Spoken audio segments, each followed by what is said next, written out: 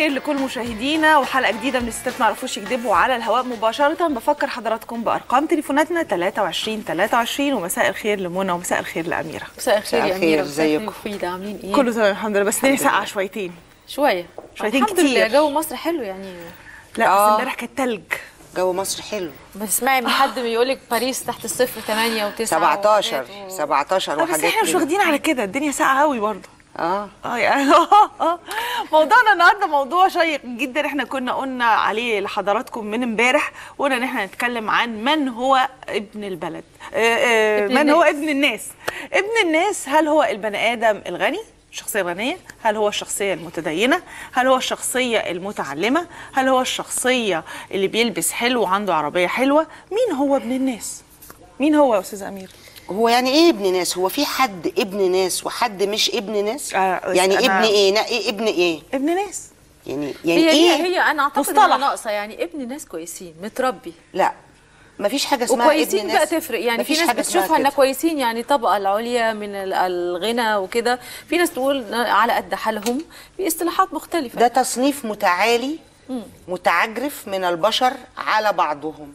فلان ده ابن ناس آه. إيه، والتاني ابن إيه مش عايزين نقول كلام يقفلوا لنا الهوا هي, هي نوع لا. من التزكية انت بتقولي ده فلان ده والله ابن ناس ليه طب ما أقول فلان ده- يعني مفيدة قالت إيه وهي ابن. البلد. قالت ابن البلد أنا أحب قوي تعريف ابن البلد ابن البلد ده ممكن يبقى غني أو يبقى فقير لكن عنده صفات شخصية طب أميرة لو أنا محببة. جيت قلت لك لو أنا جيت قلت لك أنا هاخد آه، آه، كلمة ابن أنا ناس استفزيت ورفعت آه، حاجب. وحاجب سياده. المحاميه أنا جيت قلت لحضرتك ابن الناس من وجهة نظرك إيه رافضه التصنيف رافضه. التصنيف خالص خالص ما العبش معاكم في ابن مش الناس هتلعبي معانا في ابن الناس لا، خالص أنا في حاجات أنا. شايفة إنها. تزكية بصرف النظر ابن الناس من كلمة نظرك اللي هو حلوة إيه؟ هي كلمة حلوة فيها تزكية للشخص يتقال عليه ابن ناس سواء كان غني فقير آه، آه، حتة بقى إن هو يبقى يعني هنقول مثلا سي واحد جاي لبنتك يعني يتجوزها يعني بصي للتكافؤ بقى بعد كده علم قد إيه اتعلم قد إيه وهي اتعلمت قد إيه كده لكن ابن ناس يعني ابن أصول متربي آه، أنا أنا وجهة عنده أهل نظري ربوه في كلمة ابن الناس ابن الناس يعني الولد والبنت اللي متربيين كويس.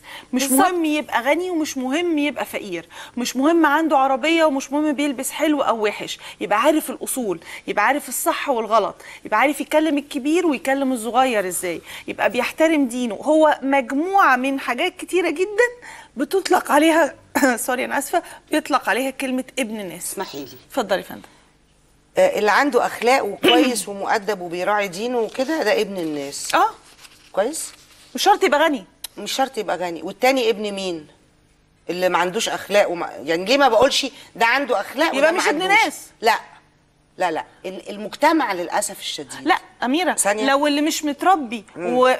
و... وما عندوش أخلاق وما عندوش احترام للآخر وما ما يبقاش ابن اي ابن مش ابن حد خالص. ثانية واحدة. ابن ناس ما ربوش. لا يا خلاص يبقى, يبقى في كلمة ناس ربوا ابن وناس ناس ما في حد ذاتها آه. لا تصلح تعريف للي أنتوا بتقولوه. أنتوا بتحاولوا أعراف يعني. بتحاولوا تجيبوا الجملة وتلبسوها معنى حلو. المعنى الدارج متعجرف. المعنى الدارج اللي المجتمع بيستخدمه يقول فلان ده ابن ناس. يعني على راسه ريشة بالمقارنة بواحد تاني مش على راسه ريشة. طب أنا عايزة أقول جايز لك الريشة بقى. دي. تبقى عيلة ها. لقب فلوس بيزنس هو المجتمع المتعجرف بيعرف ابن الناس كده. كلمة ابن كلمة ناس يا جماعة موجودة. كمان عايزين آه. نستفزها. يعني بتقول لك كلمة بيئة. أنا كتبت عنها في كتب في آه بيئة. إحدى كتاباتي. صوري يعني أنا أنا أفخر وأقول أنا أنتمي لبيئتي. أنا أنتمي المفروض إنها مش. شتيمة. أنا جاية من بلاد الفلاحين فالبيئة الفلاحي بتاعتي مصدر فخر ليا. يوم حد كده ماشي في الشارع ملوش لازمة يقول لك فلان ده بيئة. أو فلان ده بلدي. وكأن البيئة دي بقى اللي مش حلوة ده. البلدي كلمة بلدي حتى. يعني أنا لما أقول لك بلدي تقولي أنا بحب بلدي.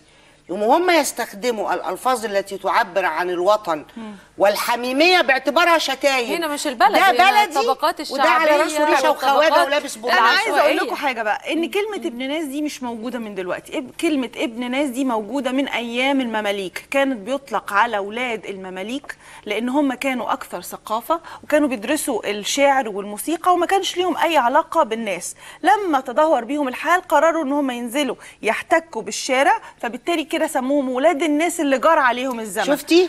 شفتي عزيزة التعجرف قوم. آه. كانوا فوق طب ما هي دي حقيقة أهو ما هو ابتدت أنا أنا بقول لك تاريخ الكلمة متعجرف. لا يا ماشيين اميره أنا بقول لك يعني. مع تاريخ الكلمة من تاريخ. المماليك جه عهد محمد علي بقوا برضو في مجموعة ولاد الناس مين هم ولاد الناس في عهد محمد علي قالوا لك الناس اللي هم عندهم فلوس و طب وولاد الشعب ما أنا بقول الشعب أنا بحكي لك تاريخ فلوس. الكلمة مش عاجبني التاريخ ده مفيده مستفزني تقدريش جداً. تغيريه لأن ما ده ده- بس ده- يعني ده شيء متعجرف جدا ما في يعني ماشي. أولاد الناس أولاد محمد علي اللي معاهم فلوس طب واولاد الشعب الغلابة اللي ماشيين آه، أنا قاعدين أنا في مصر أنا- المحروسة أنا مش ضد كلامك ومع حاجة. كلامك أنا عايزة أقول لك إن كلمة ولاد ناس ما ابتدوش من القرن العشرين لا ده كانت ابتدت من أيام المماليك وبتطلق على. الناس مختلفين وكان. معناها حلو النهارده ممكن تلاقي حد فقير من أحياء آه، بسيطة جدا ولكن آه، النهارده ما شاء الله الألفاظ انت شايفة إيه أنا شايفة خناقة وأنا جاية بين ميك-.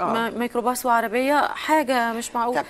يعني قول. كان ابن البلد قول. الشهم الجدع اللي بتقولي عليه ابن الطبقة البسيطة الجميلة الجدع ما يقولش ألفاظ وحشة ما يقولش الألفاظ اللي بنسمعها دلوقتي بيحترم الكبير وبيرحم الصغير ما فيش على فكرة دلوقتي دلوقتي للأسف بقى لنا فترة كده حتى قال لك إيه وأنتوا بتزعلوا من الألفاظ ليه ما إحنا كلنا بنقول ألفاظ لا، لا. يعني أنا مش موافقة إنما قصدي أقول لك إن الدنيا معاييرها اتلخبطت آه، ممكن أقول أجمل تعبير. بحبه لابن الناس قول. بحب قوي الجملة بتاعت عادل إمام لما قال إحنا أنا ابن ناس مبسوطين. آه. فقالوا له يعني إيه معاهم فلوس كتير؟ قال لهم لا يعني بيضحكوا كتير. أنا كمان بنت ناس مبسوطين. طول النهار يضحكوا كتير. أنا بحب جملة عادل إمام. أنا أنا يعني انت أنا بحترم وجهة نظر. على فكرة إحنا هنا لكي نتناقش من نخ... مش نختلف. هي ليها وجهة نظر في حتة التعبير عن آه، كلمة ابن ناس. هي مش عايزة إن إحنا نميز آه، بين الإنسان والآخر. كلنا ولاد ناس وكلنا أيوه متربيين. الاسكندراني قال لك واخواتي تلبس وتاكل. أيوة، يعني بس- ابقى طوبه في جدار. ما فيش ابن ناس و... أنا بختلف و- مع أميرة. على راسه ريشه دي. أنا بختلف معاكي. أنا بشوف إن أيها ابن الناس. لا خالص والله. أنا بختلف طبقيين. مع إن كلمة ابن ناس مش مهم يبقى غني ومش مهم يبقى فقير مهم يبقى متربي كويس يبقى أقول عنده يكون أخلاق. عنده أخلاقه وثقافته تبقى مختلفة بس الكلمة دي موجودة عندنا في مجتمعنا يعني سواء أنا وإنتي اختلفنا أو اتفقنا كلمة بقت موجودة في مجتمعنا وبقت تسمعيها على لسان كل واحد إيه عريس يجي يتقدم مختلفة معاكي جوز إنتي. بنتي أنا عارفة جوز آه. آه. بنتي ابن ناس قوي عنده العربية بتاعته ماركه فلان. وفلوس وفلوس أنا بتهيألي إيه. هي ترجع للأداء ابن ناس قوي زي ما انت بتقولي ولا بصي بص ابن ناس قوي وكتف بقى كده يشتغل ابن ناس طيب محترم هي الأداء يفرق أقول مؤدب والنية. أقول جدع مهم أقول النية. ابن بلد ومحترم وخلافي مش معاكي خلافي. مع المنظومة الفكرية اللي أفرزت هذا التمييز طيب. ابن ناس وابن ناس. مين هيناقش معانا موضوع ال- اللي إحنا فاتحينه النهارده؟ م- آه، يعني آه، مين هو ابن الناس؟ النهارده ضيوفنا أعتقد منى هتقول لنا مين معانا. آه، ضيفنا آه، الإعلامي والسيناريست أستاذ محمد الناصر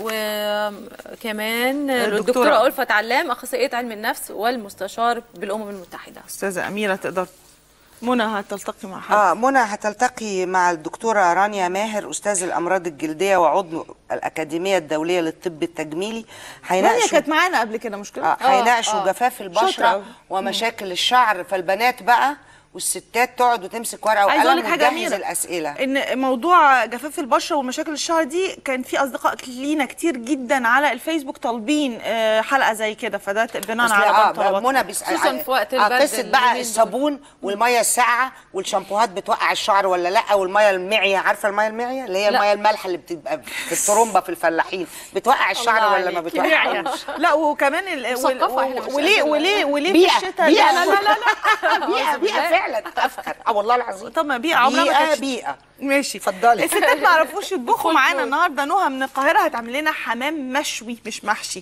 حمام آه، مشوي و آه، و- وز- ورز بالخلطة. بس الأول أنا عايزة أقول لحضراتكم على سؤال الفيسبوك. السؤال بتاع الحلقة النهارده ليه علاقة بموضوع الحلقة وبيقول هل تعتقد إن ثقافة المظهر هي الأكثر شيوعا في المجتمع المصري الآن؟ هل تعتقد إن ثقافة المظاهر هي الأكثر شيوعا في المجتمع المصري الآن؟ وأنا هحط أول vote نعم أو يعني من ضمن ال votes نعم. آه للأسف آه مصر فقدت النهاردة الكاتب والرائع المبدع بعتبره من الظرفاء أكيد يعني أستاذ جلال عامر وإحنا. شرفنا هنا كستات ما يعرفوش يكدبوا في سي بي سي بلقائه أكتر من مرة الحقيقة يعني مرتين. الله يرحمه ويتغمده برحمته وعزائنا لأسرته جميعا آه، هذا الرجل الجميل يعني آه، إحنا بجد استمتعنا لما كان موجود معانا وأضاف لنا. ووجوده معانا كان إضافة غير طبيعية. آه، اثرى الحوار بتاعنا وفهمنا حاجات كتيرة جدا بره الكاميرا وقدام الكاميرا. فرحمه آه، الله طبعا. إحنا بنقدم الأستاذ الكاتب الصحفي الساخر جلال عامر آه، كان بجد من حبايب مصر. ما أصل مصر دي ليها ناس بتحبها. بالظبط.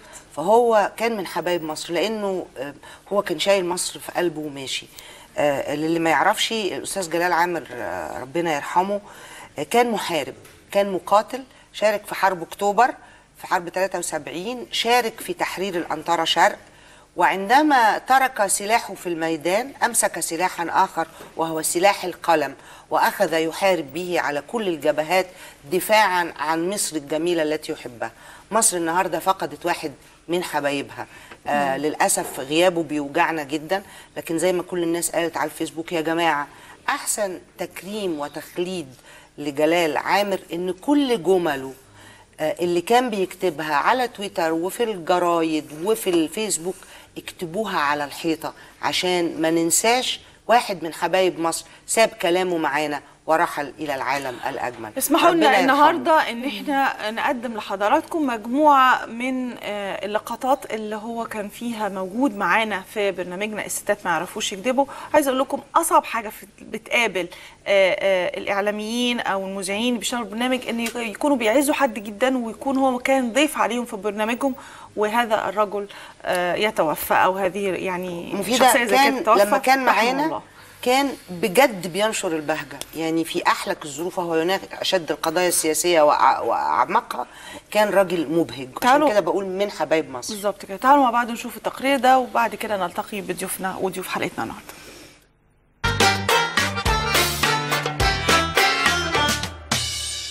في عقبة كبيرة قدام سريان الديمقراطية في مجتمعنا.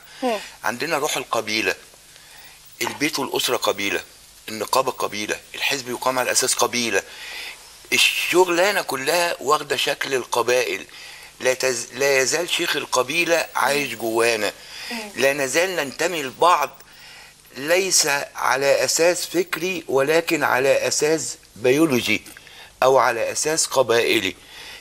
ال- الروح دي طول ما هي منتشرة في المجتمع طول ما واحد مسيحي يتخانق مع واحد مسلم يجري دول يجيبوا أنصاره ودول يجيبوا أنصاره بينما الصح أن تكون التوزيع على أساس من معه الحق بصرف النظر عن دينه. طول ما عندنا روح هذه القبيلة سوف تقف عائقا كبيرا ولا تزال عندنا قبائل فعلية في الجنوب والشرق والش- والش- والغرب ولا يزال عندنا اللي ما فيهوش قبائل المدن تعيش القبيلة داخلنا. الديمقراطية بنيت على طبقات. طبقات أفقية. الطبقة الوسطى من يعبرها عنها الطبقة العليا من يعبر عنها والطبقة هذه الطبقات عندنا لم تتحدد بعد. إحنا مقسمين بالطول. ليه؟ مسلم ومسيحي. عندنا أو سمك لبن مقسمين. بالقطعة. كل دول قضاه ولاد قضاه زراعة، وكل دول صناعة، آه، مهندسين رجال أعمال. دول أساتذة جامعة ولاد أساتذة يا مقسمين بالقطعة يا مقسمين بالطول. وده منعكس لكن على بالعرض إيه؟ المجتمع الإنجليزي والأوروبي وغيره لم تظهر فيه الديمقراطية التي تحدث عنها أرسطو قبل ألف سنة قبل ألف سنة من ساعة تطبيق الديمقرا- الديمقراطية إلا إمتى؟ لما تحددت الطبقات أحد المعوقات المهمة لم تتحدد عندنا الطبقات تلاقيه سباك النهاردة وتاني يوم ضرب له ضربة نط فوق بقى في الأرستقراط آه. وأخوه ما عرفش عمل إيه أو أدمن إيه راح ساقط من فوق راح نازل تحت. والولاد في مدرسة واحدة كمان. المفترض أن الحراك الاجتماعي من تحت لفوق مش بالأسانسير بسلم. هو سلم الرقي والتعليم. أتنقل من سنة أولى لسنة أستاذ بجهدي وعرقي. صح. لكن طول ما الطبقات ميعه لن- ليس هناك من يعبر عنها وبالتالي ليس هناك فرق للدوري وبالتالي ليس هناك ديمقراطية. يبقى روح القبيلة وعدم تحديد الطبقات. هل عندما الإنسان يتحقق يحقق حلمه يتوقف أم يحلم حلما جديدا؟ يعني دي آه. إشكالية. يعني هل احلامنا على التوالي بحيث نخلص من واحد نخش في الثاني وهكذا؟ آه، آه. ولا عندما يتحقق الحلم يبقى ده حلم الحياة الوحيد مثل بيضة الديك وانتهى الأمور؟ أنا أحب الإنسان يحلم وبعدين ياخد استراحة محارب وبعدين يحلم بحلم جديد يكون أكبر من الحلم الإيه؟ الأولاني. استراحه محارب؟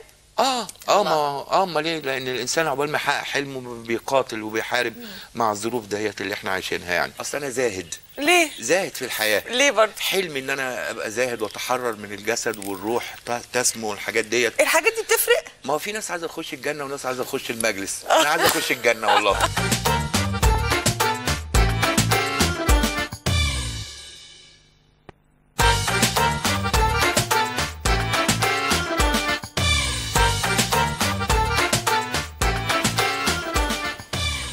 ابن الناس؟ هل من حقي إن أسأل السؤال ده ولا هل هو سؤال طبقي زي وجهة نظر أميرة اللي إحنا محتاجين إن إحنا نتناقش فيها؟ اسمحوا لنا حلقتنا النهارده ضيوفنا اللي منورنا معانا الإعلامي والسيناريست الأستاذ محمد ناصر ومعانا الدكتورة ألفت علام اخصائيه علم النفس والمستشار بالأمم المتحدة. نورتونا واهلا وسهلا بحضرتك. أهلا بيكم.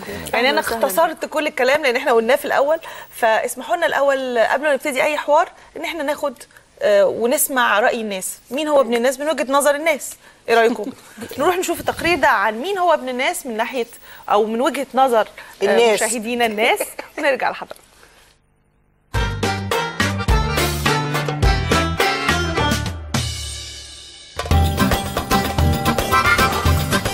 يعني إيه ابن ناس؟ وإمتى بنحكم على الشخص إن هو ابن ناس أو مش ابن ناس؟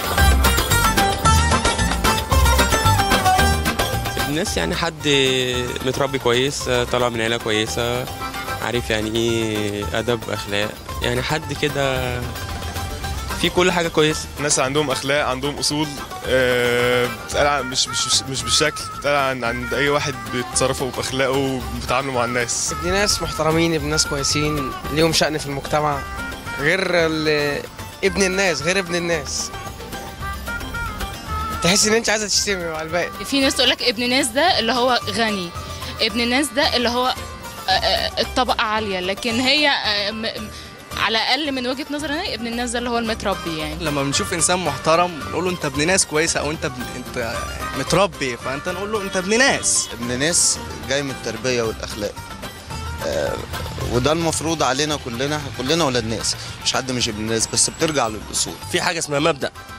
هو ده ممكن تقول عليه ابن الناس من تصرفاته سواء فقير أو غني أو شحات أو أي حاجة من تصرفاته هو بيتقال عليه ابن ناس إنسان كويس متربي. كده فبيتقال عليه ابن ناس على أساس إنه متربي يعني. ابن ناس يعني لا ناس يربوه. لكن التاني بيبقى ضايع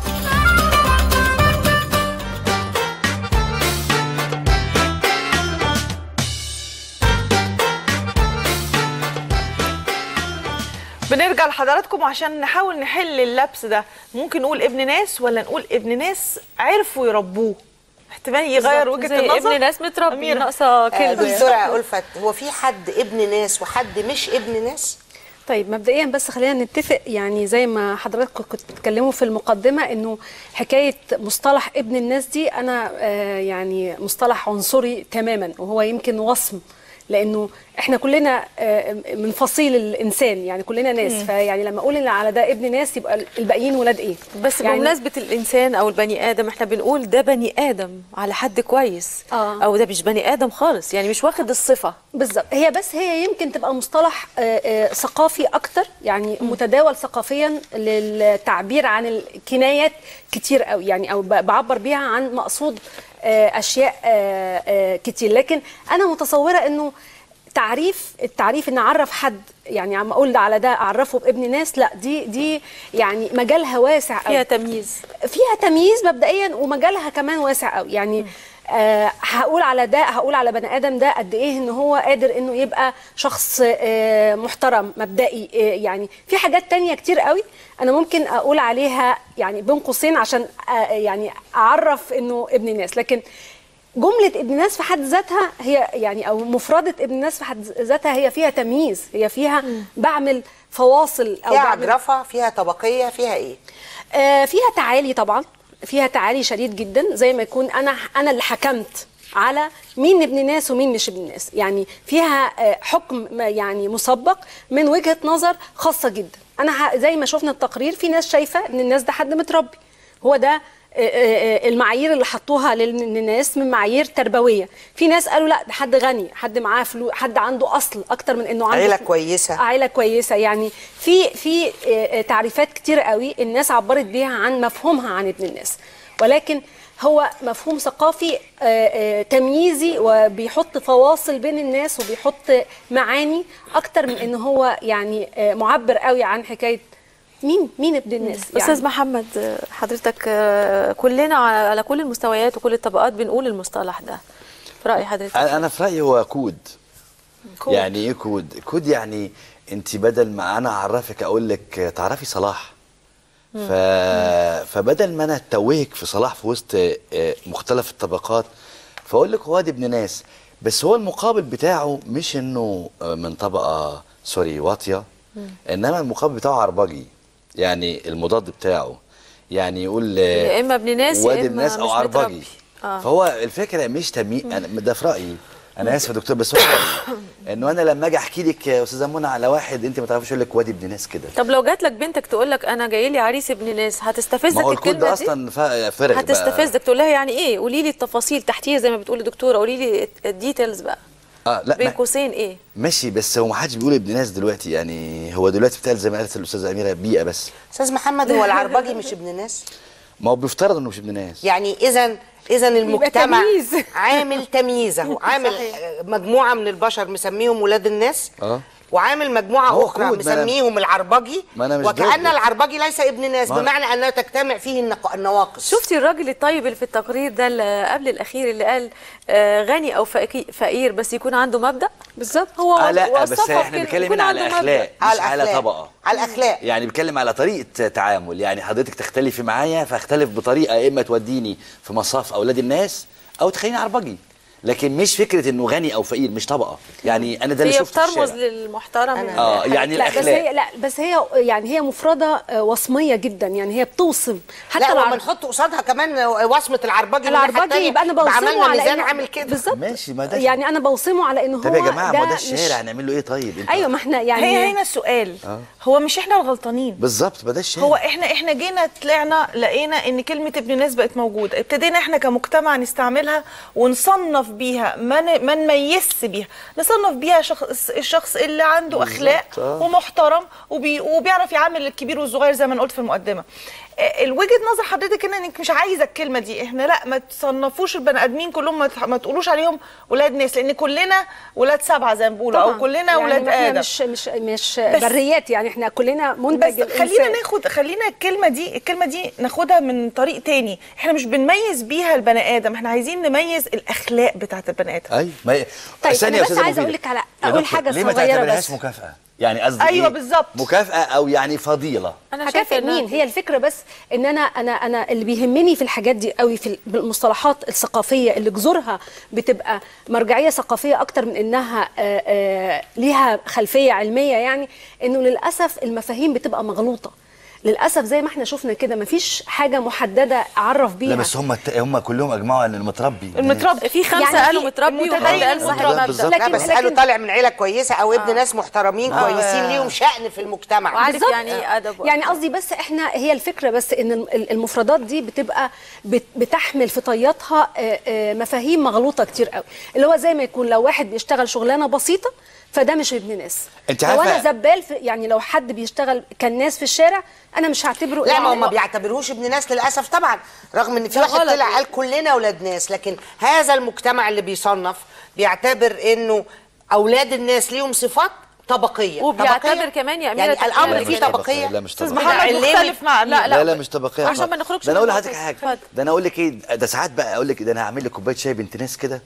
أنا أنا أنا مش طبقية يا جماعة دي جودة. أنا معاك، أو يعني محترمة. ده آه يعني أعمل لك أكلة بنت ناس أو نقعد قاعدة بنت ناس نتكلم. يعني الفكرة بقيت نقلنا مكان ابن ناس. بالظبط.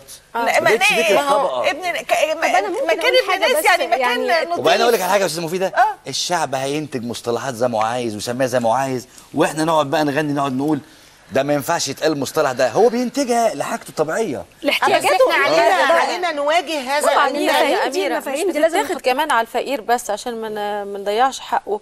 بتتاخد على ال- بعد الانفتاح. النهارده المدارس الأجنبي كلها الولاد ال- المتعلمين اللي يعني معاهم طب مش عارفة احدث مش هقطع عربيات يعني- وكده بيطلعوا أخلاقهم مش كويس؟ طيب أنا آخد معتبرينهم ولاد ناس. أيوه يبقى في من كلام حضرتك. واقول لك لو واحد مش مثلا كل- راجل آه، مشهور وأنا بشوف ده في شغل كتير جدا وابنه بيوديه جامعات من الجامعات الخاصة اللي هي مش مهم غير يحضر الامتحان. وينجح. ويبقى معاه عربية شيك جدا وينجح ومعاه شهادة ويبقى بيتوظف وبتاع وفي الآخر وأنت شايفاه في الشارع هتشوفي ان هو وتصطدم طيب أستاذ اميره فاكرة المصطلح اللي, بي... اللي كان يتقال زمان ولاد زوات؟ طيب. مش فاكرة آه بس ولاد زوات مختلف عن ده اللي طبق مش لا أنا مش قصدي هو هو. صح. أنا بس بفكركم فاكرين. المصطلح ولا أنا غلطانة. ولاد. أيوه بس أنا ده بفكرك عايز بيه مش ده. زمان كان بيتقال ولاد زوات. آه. وفي تانية ابن أصول. آه. خلاص؟ اللي هو من أصل عارفة إيه. طب ممكن ن... ن... يعني نفرمل الكلام شوية في حاجة مهمة جدا ليها علاقة بال... بالعلم نفس النمو.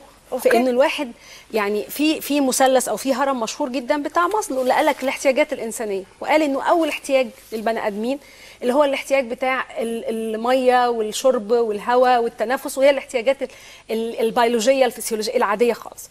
وإحنا دي بقى اللي إحنا عايزين نعرف بقى القمه الهرم هتبقى فين. بعد شوية أنا هقولها بسرعة جدا عشان نعرف إحنا في الآخر الحكاية ممكن نبقى شايفين المتربي ده اللي هو أو يعني اللي إحنا عايزين مختلفين قوي في المصطلح بتاعه ابن الناس مش ده. إحنا المجتمع. آه أو في- المرجعية في. المجتمعية بتاعتنا يعني اللي إحنا بنرجع لها. بعد شوية لا بيبقى عنده احتياج للمسكن. والمرحلة الثانية عايز بيت وعايز عمل وعايز إحساس بالأمان حاجات ورعاية صحية. المرحلة اللي بعدها بيبقى عايز علاقات اجتماعية وصداقة وانتماءات. بعد كده تقدير الذات ال- اللي هي يبقى الواحد حاسس إنه بينجز. وبعد كده يبقى عنده القدرة على العطاء. طيب إحنا لو عندنا 40% من البني آدمين اللي عايشين معاهم تحت خط الفقر اللي إحنا لسه ال- ال- المربعين الأولانيين ما تحققوش. ما تحققوش. بالظبط. وحاجة و20% المتوسط الحالة المتوسطة طيب، أنا يبقى تهت إحنا- في النص آه. بس آه أنا أنا لسه. هركز آه. يعني أنا قصدي أقول إن إحنا دلوقتي عشان نحط معيار لحكاية ولاد الناس لو أنا عايزة أقول إنه ال الواحد علشان يبقى عنده قدرة من العطاء والابتكار وال ويبقى شكله كده يعني ده ال- التكوين النفسي الصحي بتاعه اللي هو مر بالمراحل أو بالاحتياجات حصل الإنسانية. على المراتب الأولى في الهرم. بالظبط اللي هو بقى عنده قدرة على العطاء والابتكار والحل المشاكل و آه يعني عايزة قصدك قصدك تقول يا دكتورة إن إزاي يبقى في 40% من الشعب المصري تحت حد الفقر وبتطلبي منه إن هو يلبس ويتكلم ويتعلم بنفس مستوى المجموعة الصغيرة اللي هي اللي هي اللي اتعلمت. يعني صح؟ 10% ده على أو أساس إن 15% الفرق انه ابن الناس ده اللي هو الغني.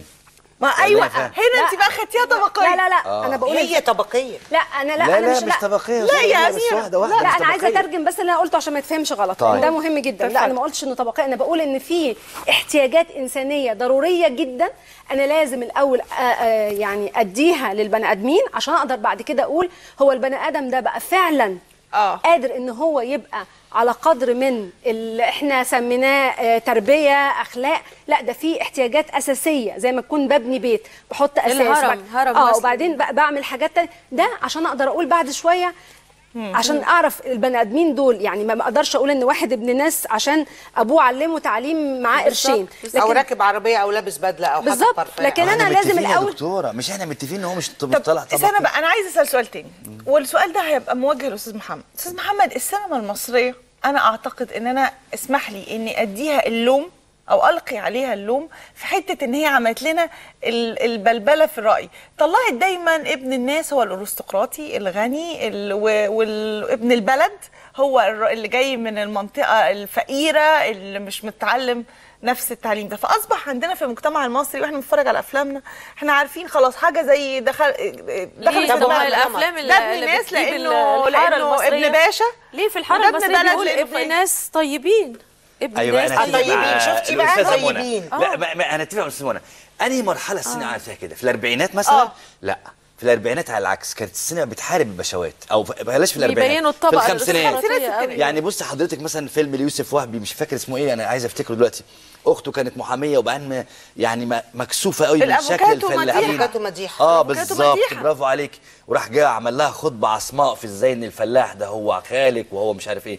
شوفي فيلم تاني مثلا زي فيلم طب آه، وفاتن حمامه لما قالت أنا بنت أنا ناس بنت يا ناس يا ناس ناس. ما كانت آه، عايزة فيلم. تقول إيه يعني طالعه تعيط باعتبارها متبهدلة ومتعفنه بس. بحب- ليلى بنت الأغنياء ها أنا بنت ناس يا ناس الأكابر كده. لا بالعكس أنا ان السينما في فترة كانت بتتملق الطبقة دي وبتصورها على إنها طبقة بص العزيمة سنة 37 ولا مش عارف حاجة أنا و30 كمال سليم ده ماله؟ يعني العزيمة. الناس الجميلة لكن تعالي شوفي ابن الناس الأغنياء اللي هو كان أنور وجدي متهور ومستهتر وبايخ ومستغل و- وسخيف لكن. آه، اسمه إيه ده البطل بتاعنا حسين صدقي أو مش عارف مين صدقي تقريبا راجل لطيف جدا آه. وشهم وشجاع وبيحب البنت البسيطة اللي هي فاطمة رشدي قصدي أقول لا بالعكس السينما تملقت ال- ال- الطبقة دي فترة كبيرة من السينما مش صحيح إحنا عندنا باحثة مصرية خلينا ناخد. قبل قبل ما آه، ناخد نقول ناخد على تليفونات نشوف أصدقائنا. رأيهم إيه هم كمان معانا منى أهلا وسهلا يا أستاذة منى. مساء الخير إزيك يا مفيدة أهلا وسهلا. ازيك يا منى إزيك يا. أميرة؟ أهلا وسهلا. ومرحبا بضيوفكم الجمال. يا آه. بصي يا مفيدة كان زمان بسمع من جدتي كلمة على حكاية ولاد الناس دي دايما تقول ولاد ناس أوادم.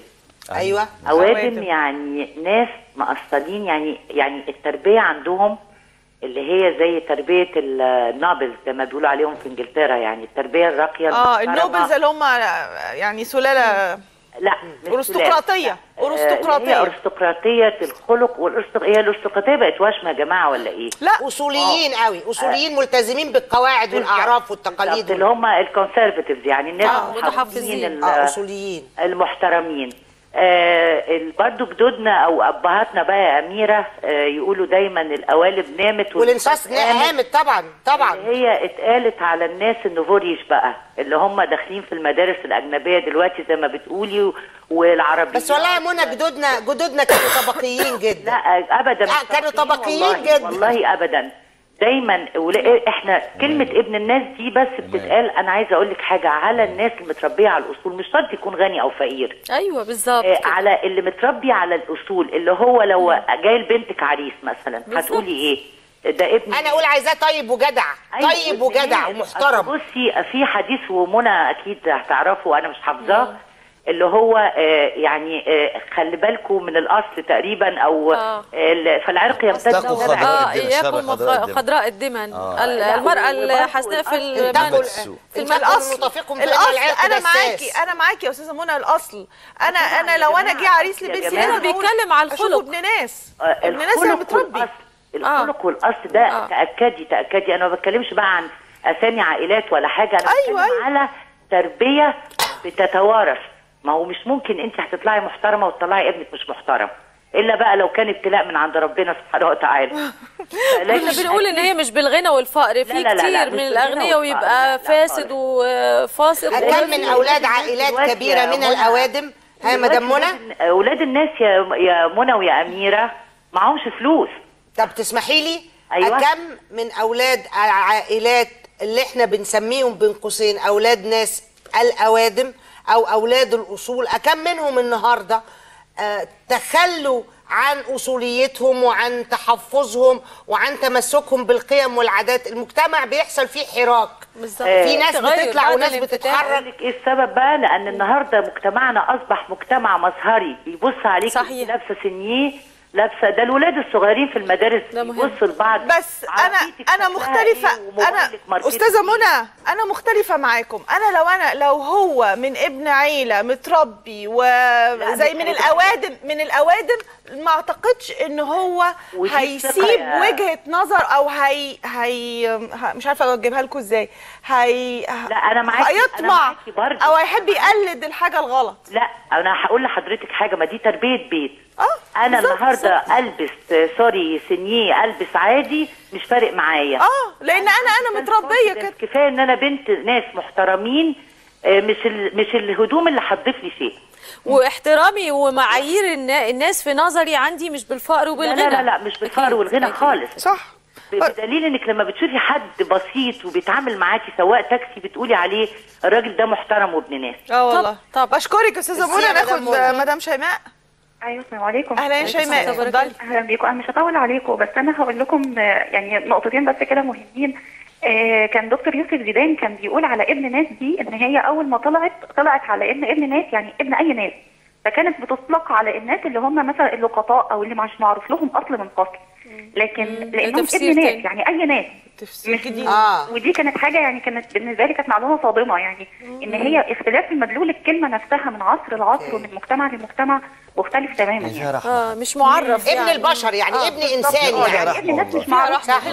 مين هم الناس دول فكان بتطلق على كده يعني أستاذ محمد بيقول لك وفيها رحمة يعني حتى لو هناخد التعبير الرائع اللي. انت قلتيه بالظبط. إن كلمة ابن ناس مع- على على البني آدم اللي هو الل- اللقيط ده حاجة غير يعني غير لا نعاقبه آه ولا غير رائع يعني. رائعة حقيقي إن إحنا كده ما عاقبناهوش بالظبط في نقطة كمان مهمة جدا يمكن يعني في- إعلان في في إعلان بيت- بيتعرض على القنوات اليومين دول طبعا بدون ذكر أسماء لفندق سياحي فندق كبير أو مدينة مدينة من المدن اللي هي الجديدة وواضح فيه جدا الطبقية بشكل رهيب جدا جدا جدا جدا. يعني إن إن مثلا ال- اللي هو اللي بيخبط على جاره علشان يسأله حاجة بالليل. أيوه أيوه شفت الإعلان ده. إعلان طبقي بشكل طبقي. إيه في الإعلان؟ آه، أيوه يقول لك آه، مش بدون ذكر الإعلان عشان ما يقولوش إن إحنا آه. دمرناهم. يقول لك هو قاعد في, في, في مطعم فبيغمس بيعمل العيش البلدي كده. يقول لك آه، مش آه، في المكان ده ما فيهوش آه، الملوك ما يعملوش كده. لا اتفرج عشان please okay. مش عارفة ما. بيتقطعش العيش آه، مفيش شيء. إعلان ولا حاجة. بنشك- بنشكرك يا شيماء ناخد رأفت عشان إحنا بوظنا الدنيا. في الموضوع طيب أنا عايزة. بس أقول حاجة. شفتي المعنى الكلمة المفهوم بقى في ال... في ال... ليه معنى أكتر من معنى إزاي؟ طب بدأ- ناخد رأفت. بدأ إزاي؟ طب بدأ اسمحوا إزاي؟ لي ناخد التليفونات ونقعد نتكلم في الحوار. ناخد رأفت؟ اتفضل. اتفضل يا فندم. أستاذ رأفت إزيك؟ السلام عليكم. السلام وسهلاً. الله وبركاته. أهلا وسهلا واهلا بضيوفكم. وأنا ليا بس تعليق على كلمة الدناس اتفضل. الدناس كلمة قديمة من أيام الإقطاع. تمام. تمام. من أيام الإقطاع كان الإقطاعيين كان زمان اللي بيتعلموا كان بيتعلموا بفلوس قبل الثورة. وعامة الشعب يقول لك لا ده ابن ناس وده من عامة الشعب. مم. فكلمة ابن ناس ابن ناس دي كانت من قبل ثورة يوليو. آه اذا هي كلمة. طبقيه في بدايتها. الناس اللي بتتعلم اللي هي عندها المقدرة المالية. آه. آه خليتني بال حضرتك آه. آه، هي أطلقت من إن على كلمة ابن ناس اللي هم الناس اللي بيستطيعوا أن يتعلموا. صحيح. في المدارس لأن ما كانش في مدارس رسميه كانت المدارس كلها بفلوس. لما جاء آه، ثورة يوليو قضت على الإقطاع مظبوط. ومجانيه التعليم وخلت التعليم حكومي فخلت الناس كلها سواسيه أيوة. دلوقتي ابن الناس في الوقت الحاضر غير أيام الإقطاع. ابن الناس في الوقت الحاضر اللي هي الأسرة المتعلمة المتدينة اللي بتعرف ربنا بالظبط. اللي ملهاش في الساكن عائلة بسيطة. الع- هي ممكن تبقى آه، مثلا عزوة ولكن مش زوجها مش شرط وصل وجهة نظر حضرتك الله. بنشكرك يا أستاذ رأفت رأفت. ميرسي. أستاذ أحمد أهلا وسهلا اتفضل. مساء الخير عليكم. مساء النور. النور. يا فندم آه هو في بعض الكلام الحقيقة كان صح. يعني لو يمكن أكون أنا يعني أحطه في إطار واحد. حكايه ولاد الناس دي أول ما أطلقت زي ما مفيده قالت أطلقت على المماليك. مظبوط. وأطلقت على المماليك لأن هم كانوا بيجابوا أيتام. وده كان لازم يبقى يتيم. يعني يعني ما لو واحد مش يتيم ما ينفعش. لازم غلام يتيم بين سن خمسة لتسعة وكانوا بيجوا من القوقاز ومن ألبانيا زي محمد علي كان من ألباني.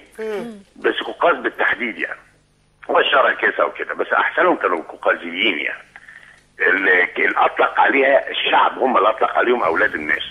لأن هم مش معرفين ما هم آباء ينسبوا ليهم يعني. آه ما فيش حد ينتموا إليه. بس هم كانوا الإليت لأن هم كانوا بيتعلموا أحسن تعليم وكانوا بيتحطوا في, في, في حاجة اسمها المماليك البرجيين واللي هم كانوا بيتحطوا في أبراج. أبراج هنا بمعنى مدارس أو بيلدينجز وبعد كده المماليك البحريين. آه، ده في تاريخنا يعني والكلام ده من حوالي 800 سنة. ده أول حاجة. أنا عايز أقول بس خبر مهم جدا ان كل اللي أنا هقوله ده وكل الصفات دي المصدر الوحيد لها عامة الشعب. عمر ما حد من الاليت قال حاجة. عامة الشعب فقط هي اللي أطلقت كل هذه الأوصاف. الوصف الثاني حصل أيام محمد علي. محمد علي لما بنى مصر حديثة احتاج للاتي احتاج ل white collars اللي هم الناس المتعلمين بتاعه ودي كان بيتميز بيها الأقباط في مصر. واستورد بعض الشوام وكانوا برضو مسيحيين مارونيين واختلافهم. زي ده أسس م- جورج أبيض اسس المسرح وزي تقلا وزي ما إحنا لغاية النهارده إحنا الوحيدين في العالم اللي بنقول شيكاغو وغينيا لأن إحنا خدناها من هم اللي أدخلوا الثقافة الشوام. لأن كلمة الغين عندهم بتنطق الجيم. إحنا بس في العالم اللي بنقول غين. ما علينا يعني. فأطلق الشعب عليهم الخواجات. ولغاية النهارده المسيحيين في الصعيد أو في الفلاحين عليه خواجة. أيوه. بالذات اللي هو ال- اللي جيت منهم يعني. يقول لك ده خواجة. بعد كده لما نتيجة محمد علي لما بنى مصر الاجتماعية تطورها بعد إسماعيل وكده وصلنا للعشرينات وبعد الدستور وكده إن حصل إن بقى عندنا ما عندناش ارستقراسي بالظبط بس عندنا سب ارستقراسي الارستقراسي بتاخد 10 يعني قصة ثانية خالص. إحنا في مصر. ما عندناش ارستقراسي ولا ونيفر ديد يعني. المهم الطبقة دي اتقال عليها ولاد الأصول اللي هو المنبت أو المنشأ وليها أصل إسلامي اللي هو ذات الحسب والنسب يعني الكلام مش مش مش مش غريب على العرب. واطلق المصريين على أنفسهم هم الخواجات وإحنا العرب. عشان كده جدودنا كانوا يقولوا ولاد العرب. وحي العرب تلاقي في بورسعيد لا حي العرب. إحنا ولاد العرب والخواجات وولاد العرب. بعد كده بعد وزارة الأصول والذوات والحاجات دي حصل ان أيام عبد الناصر كان اشتراكية حماها الله بتاعت أكيد الأخت أميرة واضح إنها ناصرية. لا والله. ف... ف... لا والله مش حد بس- بيتميز. فأطلقوا على المتعلمين لأنها كان الافراز الثقافي بتاع الثلاثينات والأربعينات والخمسينات طلع المثقفين اتقال عليهم الأفنديات اللي استخدمها السادات بعد كده. إذا ما كانش أفندي لأن اتلغت الألقاب. إذا ما كانش أفندي فهو ابن بلد. بس ابن بلد كان بيتميز بأخلاق آه، رفيعة الحقيقة يعني. وإحنا. اللي عاش الكلام ده يفتكر إن كان ابن بلد دي صفة مميزة. جه بعد كده الانفتاح وحصل آه، إن إحنا آه، طلع يعني ناس أغنياء بس هرم مقلوب ناس مش شيك يعني. الناس اللي كانت بتطلع تبرع دي والاشكال الغريبه دي. فولاد الناس بيقولوا إن ولاد الناس by default يبقى مش غني. آه. يعني by default ابن الناس ده ما يبقاش غني. لأن الأغنياء كانوا الأشكال الغريبة اللي طلعت في أغلبها دي. أستاذ احمد إحنا بنشكرك. يعني بجد أنت لخصتنا من يعني. أول الموضوع. بجد بنشكر حضرتك. ونرجع للأستاذ محمد. ممكن تعليقك على كلام قاله لا ده رائع ده راجل رائع بصراحة والله. بس هو قال حاجة أنا كنت لسه بقولها إنه الشعب هو اللي أنتج المصطلح. وإن إحنا مهما قلناه هو الشعب أنتجه هو اللي بيحركه في الاتجاه بتاعه. يعني يقول ابن ناس دي بشكل طبقي يقول ابن ناس. بس أنا عايز أسألك سؤال. وأنا أقدر آخد حضرتك دلوقتي بلبس حضرتك ده؟ ونروح نقعد في حتة انت يعني مش مظبوط يعني قصدي أقول حتة شعبية؟ لا مش شعبية في حتة شعبية جميلة بس قصدي أقول حتة يعني عشوائية أو مش يعني حتة مش مرتبة. آه. هتتضايقي. لا ليه؟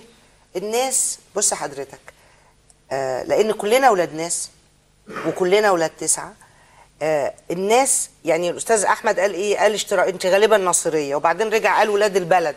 لا أنا فعلا بنتمي لولاد البلد بالمعنى القطاع العريض بنتمي ليهم نفسيا ومن ثم لا أتعفف على ما نراه إحنا أحياء شعبية وعشوائيات ولا هم يحسوا تجاهي بغربة وأنا قاعدة معاهم الغربة تأتي من الحالة النفسية مش من الهدوم يعني ممكن تلاقي حضرتك آه مش غربة يا أستاذة أميرة أنا بتكلم على النفور على. إن على أو إنك. أنت هتسمعي لفظ مش مظبوط لا لا أو لا. هتسمعي لا لا حضرتك أول الألفاظ اللي مش مظبوطة دي بقى أنا بيقولها أتوقع- بقى بيقولها من نطلق عليهم أولاد الناس العلوي على رأي المسرحية بتاع سيدتي الجميله إحنا من الطبقة العلوي هو اللي بتسمع منه. أميرة يمكن. قصد أستاذ محمد إن ممكن ما تتكيفيش. بالظبط بالظبط؟ بالظبط. ما أنا رديت على لساني أنا وقلت أنا هي قالت حاجة. مهمة جدا. هي قالت إنها بدل عندها استعداد نفسي وعندها تواصل أنت مع اللي بتاخدي القرار ده تتواصلي عندها؟ تواصل مع فعلا مع ال- مع الناس اللي حتى لو في مكان عشوائي قادرة إنها فعلا تتواصل معاهم وقادرة إنها تبقى عندها استعداد إنها تتعامل معاهم مش هتحس بأي غربة. دكتورة وهم يحسوا بوجود طبعا. هم يحسوا باللي جواكي ويعرفوا يتعاملوا بالظبط معاه عارفين بالظبط. المشكلة إيه هي الطبقة دي موجودة اللي هم ولاد الناس حتى في العشوائيات والناس الغلابة ما أنا مش مع كلمة انه واحد بتاع كنت بتقولي بتاع كرو ماله بتاع مش كرو؟ اللي قلت. لا لا يعني أو حد عربجي. على يعني أقصد هي فين الطبقة دي هي الطبقه اللي هي ما راحت خلاص فقيرة ومحترمة وعندها خلق وعندها دين والحاجات دي لا ما هي يا أستاذة منى ما بيتكلمش يا. جماعة ما بيتكلمش على عربجي إنه فقير يبقى يعني حتى يا عربجي ريت. بالظبط عربجي يعني بيتعامل مع في, ألفاظه يعني آه، مين وبالتالي يعني ممكن هو- عربجي يبقى يكون- مليونير بالظبط آه، بس طبعاً. طب ليه. بنوصفه إنه عربجي؟ لا ليه ليه بعتبر إن وظيفة. العربجي تساوي. الانحدار الأخلاقي أيوه هو ده اللي ليه ليه. بتقولوا كده؟ يا ريت موجودة أميرة، هو حتى مش قصده كده مش قصده هو قصده إن العربجي ده. الرفيق بتاعه طول اليوم آه طيب أنا هطلب منكم بقى طلب بقى إحنا محتاجين ضبط مصطلحات لأن ظاهر الدنيا. كده إيه. عربجي. بس بس بعد الفاصل ممكن أسمعك أنا آسفة بس هنرد نطلع الفاصل ونرجع تاني نشوف المصطلحات دي إزاي نظبطها عشان إيه نمشي في؟ مسار بس في عشان نطلع الفاصل. ونرجع مع. حضراتكم نكمل حوارنا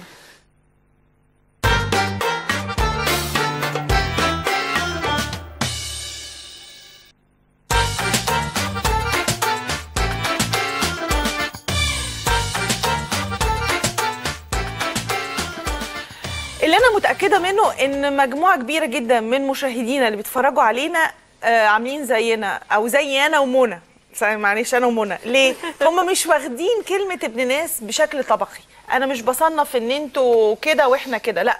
إحنا واخدينها بشكل آه، مجموعة آه، مجموعة مو- مواصفات حلوة فبختصرها بس في كلمه وجهه ابن ناس بس وجهة نظر أميرة شايعة جدا ان هو. التمييز الطبقي ده موجود بس أميرة لفتت كانت- نظري هقول لك إذا كانت الناس ما بتقصدش المعنى السيء اللي انت بتقوليه علينا لا، لا، لا. نعيد علينا نعيد تدقيق المفاهيم. طب ضيوفك بقى. اتفضلي يا دكتوره دكتورة كنت هتتكلمي عن تدقيق المفاهيم. وبفكرك طيب. بالتعليم في الدردشة قلتي برضو التعليم كمان آه يعني كان حاجة مهمة قوي إن أنا دلوقتي في تعريفنا لأولاد الناس دي في حكاية ال- وإحنا بنتكلم في الفصل على حكاية النطق إن مثلا في مفرد في حروف كده بتتنطق بشكل ساعات تتقال بشكل هزار آه، لما أختي بتاع أختي. عاطف وبتاع والكلام ده كله.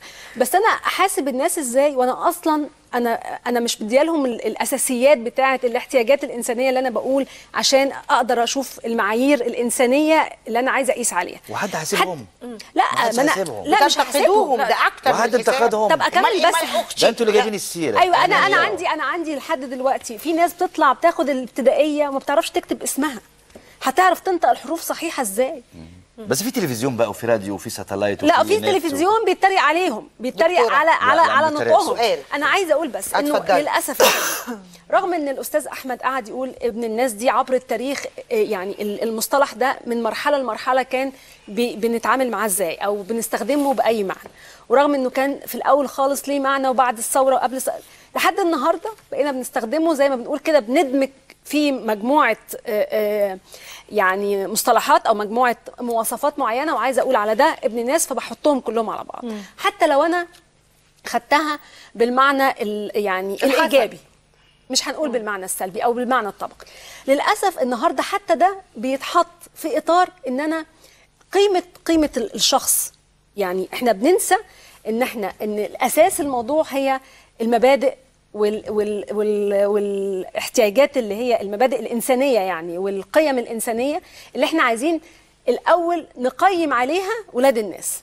قبل ما هنقعد نبص بقى ده اتعلم فين ده ودى ولاده مدارس خواجاتي ده ودى آه، ابنه جامعة أمريكية لأن هو نفسه إن ولاده تبقى آه، يعني عايز يخرج من مع الانفتاح يعني وكده. بالظبط. يعني بدأ القيمة نفسها الناس بقت دلوقتي أو حتى بين الشباب وبين ال- الشباب الصغير للأسف بقت ال- القيمة في الشكل الخارجي والاطار الخارجي أكتر من أنا قيمتي موجودة إزاي أو أنا قيمتي بتترجم في في في بالمظهر. بالمظهر للأسف. وده يعني متداول بف- في مجتمعنا بشكل يعني آه، مؤذي جدا. طب دكتورة ألفي أنا عايزة أسأل سؤال. دلوقتي هنجيب طالبين عشان بالظبط. بس أنا عشان أنا بلقي اللوم دلوقتي على المجتمع مم. واحد خريج جامعة أمريكية واحد خريج خلينا في آه، ابتدائي لا خلينا لأن أنا عايزة عايزة الموضوع. تطرف في المثل.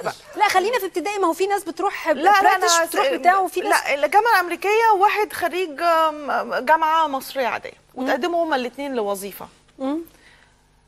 من غير ما أفكر هياخدوا بت- خريج جامعة أمريكية أيوه ليه؟ بس أنت كصاحب شغل ليه؟ اتفضلي دكتور ليه؟ اتفضلي لا هقول لك على حاجة بس هو حسب يعني ما أقدرش أقول إنه من غير ما يفكر ما أقدرش أوصل للنتيجة اللي حضرتك بتقوليها دي لأن أنا الاثنين دارسين آداب إنجليزي major ده English literature وهو في جامعة القا... جامعة عين شمس واخد نفس شهادتي English literature وهياخدوا الجامعة الأمريكية. طيب يبقى أنا في الحالة دي أنا محتاجة إن أنا ابعت أبعت اتنين CV على أي إيميل وفي الحالة دي هتبقى ال ال ال ال التقييم هيبقى زي ما بتقولي كده. لكن في حاجة مهمة جدا الشغل بي بيبقى دلوقتي بقى مهم قوي انه يقول لك أنا عايز أشوفك شخصيا وأعمل معاك طبعاً، لقاء. الشخصية لأن أنا بقى في حاجات كتيرة قوي لأن الناس بدأت تكتشف بالذات مع العلم الحديث ومع تطور ال ال ال الحياة يعني أصحاب الأعمال وأصحاب ال- الشركات ومع ال ال الحياة الجديدة لا بقى مهم جدا غير إنك جايب لي شهادة من الجامعة الأمريكية أنا عايزة أشوف قدراتك عايزة أشوف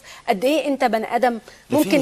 هي دي الدراسة لا، اللي لا، كنت هتكلم عنها قبل الفاصل إن غادة برسوم؟ آه، بنت مصرية عاملة دراسة عن ال- آه، البنات اللي كانوا بيقدموا لشركات وخدت رأي رجال أعمال في الشركات اللي. بتقدم لها إن هو كانوا بيبصوا لإن هي لون شعرها إيه ما يكونش ضارب قوي يكون high standard يكون عندها أكتر من لغة. High standard. آه آه بتتكلم كويس. ال make up على مش عارفة آخر مستوى وآخر موضة دي اللبس. الدراسة بتاعتها بتقول كده. إنه دول كويسين ولا دول وحشين؟ بياخدوهم لا يشغلوهم. بياخدوه بي- بيشغلوا اللي هي إذن المجتمع high standard لوحده وعندها هو- أكتر من لغة و fluent English وكلام. طيب تسمحي لي؟ حضرتك يعني خلينا نشترك دي الشخصية اللي فوبيا التصنيف الطبقي في المجتمع. هل مجتمعنا اللي آه، عايز اللي بالاول بي- بيميز بين أولاد الناس وأولاد اللي منسي وبعدين ناخد من أولاد الناس أولاد الناس اللي هم متعلمين خواجاتي واللي مش متعلمين. وبعدين اللي متعلمين خواجاتي آه، اللي سافروا بره واللي ما سافروش. كده. والأغنياء واللي- عارفة- واللي- ويقول لك وجوه الطبقة دي. فيها تصنيف برضه. جوه الطبقه في يعني. طبقة جواها آه ويقول لك العيلة دي التصنيف. كويسه بس فيها هو ابن ابن عيلة كبيرة بس هو الفرع غلبان فيها. ها؟ يعني في مصطلحات في المجتمع بت... طول الوقت بتعمل تمييز على أساس طبقي. الكلام ده حضرتك شايفه ولا مش شايفه؟ بس- وحضرتك أنتوا الاثنين أنا بس عايز أسأل الدكتورة هو لو لو هو التمييز بس في الطبقة ولا في اللون؟ أنا هقول لك على حاجة. في أغنية في الصعيد بتقول إيه؟ أغنية قصيرة كده بتقول أنا هقولها بلهجتها الصعيدي بتقول اوعى تقولوا آه، سودا دي منورنا الأوضة العروسة يعني. اوعى. تقولوا سمرة دي بيضة زي الجمرة. هو في تمييز بين الابيض والاسود هو ويبدو إن المجتمع في حاجة للتمييز ده. يعني يبدو إن المجتمع نفسه بيدور في حاجة على للتمييز؟ آه محتاج التمييز؟ محتاج يميز إنه إنه إنه العروسة أنا دي متصورة إن. المجتمع إن الأوان إنه يبعد على الأوان، لا أنا يبعد على. يتخلص من التمييز لأن إحنا فعلا التمييز ده مش معطل قصدي جدا. يا دكتورة يا دكتورة. لا، أنا مش أنا قصدي.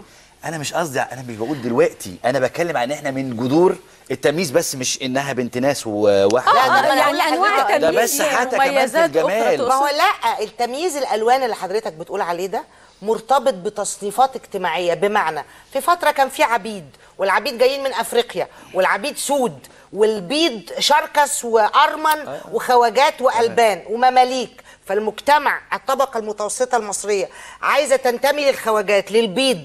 ال ال ال ال ها؟ بينما عايزة تفر من العبيد. فيبتدي يقول لك دي سودا ودي بيضة. لا ده أصلي- أنا تمييز أصلي أيضا تركي، أنا اجتماعي. أصلي. اسمحوا لي ممكن أسأل سؤال. هل ممكن يكون وجود الت- التمييز هنقول في تمييز في المجتمع ده لخلق نوع من التنافس؟ ما هو ده بقى يا هو أستاذة مفيدة اللي أنا عايز أقوله. أيوة، أنا ما إحنا فهمت لو. بقينا شبه بعض كده بالظبط مفيش هيبقى في تنافس. إيه بقى؟ ما هو في الفصل فيه صح. ولا دي غلط؟ حكمة ربنا كمان في ال class الاختلاف في- في ال class مش أنا. في بقول آه. لي مفيدة ال class. آه، لا لا مش مفيدة معايا والله. مفيدة مختلفه أنا. أنا في فاهم الفصل نفسه ثقافتها في واحد كويس جدا. وواحد مش كويس في ده على أساس الكفاءة. مش انه ابن ناس ولا ابن منسي ولا بيضة ولا سودا ماشي ماشي ماشي. كفاءة. لا هي واضح هي اللي بتقولها مفيدة في بتدور على الدراسة إن أي هي- حاجة أي حاجة آه. إيجابية في قصة ال وأنا مع آه يعني يعني لا بس هو؟ التنافس عارفة ليه يا التنافس دكتور لأن أنا مش حاسة إن إحنا هنقدر ن- نخلع التمييز الغير الغير مقصود في المجتمع خلاص بقى موجود لا هو كلمة ما ينفعش ابن إن ناس إحنا نسلم بيه. برضو إحنا دورنا إن إحنا. بالعكس إن إحنا بنقول إن الحاجة دي موجودة ودي حاجة. مهمة جدا ونحترم وجوده ونشوف إن وظيفته قام بأي وظيفة في المجتمع. يعني قصة زي التمييز الطبقي ده أو ال- ال- حكاية ابن الناس إحنا لازم آه يعني بصراحة وشفافية آه، محترمة جدا. نقول إن ده موجود بس للأسف هو معناه جاي من إيه؟ وظيفته بيقوم بوظيفة عاملة إزاي؟ وقد إيه وظيفته دي سلبية في المجتمع؟ ونحاول نغيره ونغير أفكار الناس. إيه يا أستاذ محمد؟ انت وجهه نظرك؟ إيه؟ اللي حضرتك أيوه ما. لازم لا، ما نغير هو ده- الناس دي مسؤوليتنا. طبعا لأن لازم دي تبقاش مغلوطه بتقوم عليها لا آه، فضل العربية تفكير على الناس. بشكل فعلا مؤذي. يعني أنا أنا دلوقتي النهارده لما يبقى هتكلم على التمييز ده على إنه تنافس واربطه بإن هو حالة تنافس لأ طبعا. أنا هوصل للناس يا. أستاذة ألفت ده في واحد مش دمه تقيل وواحد دمه خفيف. وفي واحد مش عارف طويل وواحد قصير التنافس هيبقى ولا- في اللي بتقول عليه بس التنافس الكفاءة. علاقة لا بالتنافس ولا أنا ما بالخير ولا بقولش بالشر أنا ما بقولش هيبقى التنافس ما- غني وفقير. لكن أنا بقول بين اتنين. عندهم نفس آه، متربيين نفس التربية بس مين يقدر يثبت إن هو أكثر اخلاقا أيوه بس الناس لما بقت المعايير بتاعتها أكثر تدينا. الم... المعايير لما بقت مادية خلت البنات تتجنن. بالظبط. ليه فلانة. عندها ده وأنا مش عندي؟ ليه معاها على فكرة بقتش المصطلح إيه؟ ده موجود قوي أنا هقول لك يا أستاذة منى أنت عارفه المصطلح ده بقى موجود إزاي؟ عجبني دخلته هي بقت موجودة إزاي؟ يقول لك ده stylish قوي ما بقاش بقى بكلمة ابن ناس ما هي stylish قوي. الترجمه الخواجاتي. بتاعت ال class للبيئة أنت وابن عارفة بقى ابن الناس في الأساس إيه؟ هو الشخص الذي لا يؤتي فعل مثلا بايخ أو سخيف أو لفظ كده لكن دلوقتي البنات بيقولوا كده البنات بيقولوا دلوقتي بقى ده واد style قوي يعني أو لو البنات يقولوا أو الولاد يقولوا دي بنت style قوي. ما يقولش بقى بنت ناس خلاص ده المصطلح هو برضه ده كود بس ودايما كود يقولوا على. الولد الولد ده cool جدا آه، ده كول. كود بالخواجات أيوة. كود من الشمال لليمين أيوه صح شوف صح. إحنا داخلين أهو مش آه، بقى, صح. بقى خلاص سيبنا ابن الناس صح. بقى style ده التطور الطبيعي بقى. والولد بقى cool آه, آه. وروش. والبنت style قوي وبتاع. ده بيعملوا دلوقتي look بيعملوا دلوقتي look ويخش معاهم وي- ومعلش. ويقول لك عليه لا، مش cool شرط. يا جماعة بس مش شرط. معلش. انت لما بتشوفي راجل ثانية واحدة انت لما. بتشوفي راجل handsome ومحترم بتقولي إيه؟ والله الراجل ده cool أنا ما أعرفش أقول الحاجات دي خالص يا مفيد. أنا تربيتي فلاحيني ما فيهاش cool ولا الحاجات دي ولا handsome هتقولي له آه هذا الرجل محترم. طب تسمحي لي إحنا لما نكون بنكلم مجتمع يعني ممكن أنا بنتي تبقى بتقول كول وستايلش و... و... ها والافتكاسات اللي هي بتقولها زي. حلو الافتكاسات هي بتاعتهم برضه أيوه أيوه ما أنا قلت أهو ما أنا استخدمت لفظها. لما أنا لما أجي أبقى بكلم المجتمع اللي فيه طبقات اجتماعية مختلفة وشرائح اجتماعية مختلفة وأنا عايز آخد المجتمع ده وأطلع بيه لقدام وعايزه أنمي روح المنافسة الموضوعية على أساس الكفاءة وكذا وكذا. وأبتدي أرصد المجتمع ده بيتكلم في إيه؟ فأقول آه ده بيقول ابن ناس وبيقول كول وبيقول است... ابتدي أشوف دلالات ده واثره على الناس. إيه يعني أكيد هل في حد من اللي بيتفرج علينا دلوقتي قاعد بيقول إيه البواخة دي؟ وانتوا على راسكم ريشه أنتوا معتبرين ان ولاد الناس وإحنا مش ولاد ناس؟ المجتمع مليان شرايح وفي ناس مليان بيتفرجوا. علينا وبيقول لنا آه إحنا نرجع وافق نقول- وتعبنا وشقينا واجتهدنا وذاكرنا وبقينا لينا و... ما- لا، بقينا ناجحين حاجة، بقينا ناجحين يتقال حاجة. عليا. أنا على الأقل ما بشتمش الفلاني لا. وبتعامل مع الصغير زي الكبير. بقينا ناجحين حاجة ناخد وبقينا أستاذ صابر. ولاد ناس حاجة تانية. ناخد أستاذ صابر. مختلفة. على التليفون. أهلا وسهلا أستاذ صابر. ألو؟ ازي أيوة. حضرتك؟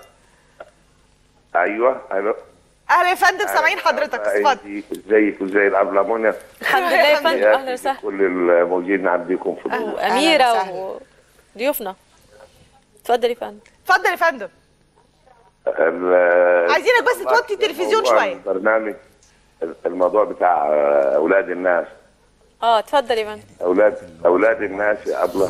أيوه. ال- النهارده كل الناس يعني نرجع مثلا ل 100 سنة.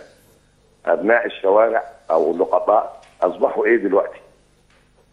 فما فيش آه، نسبة ثابتة.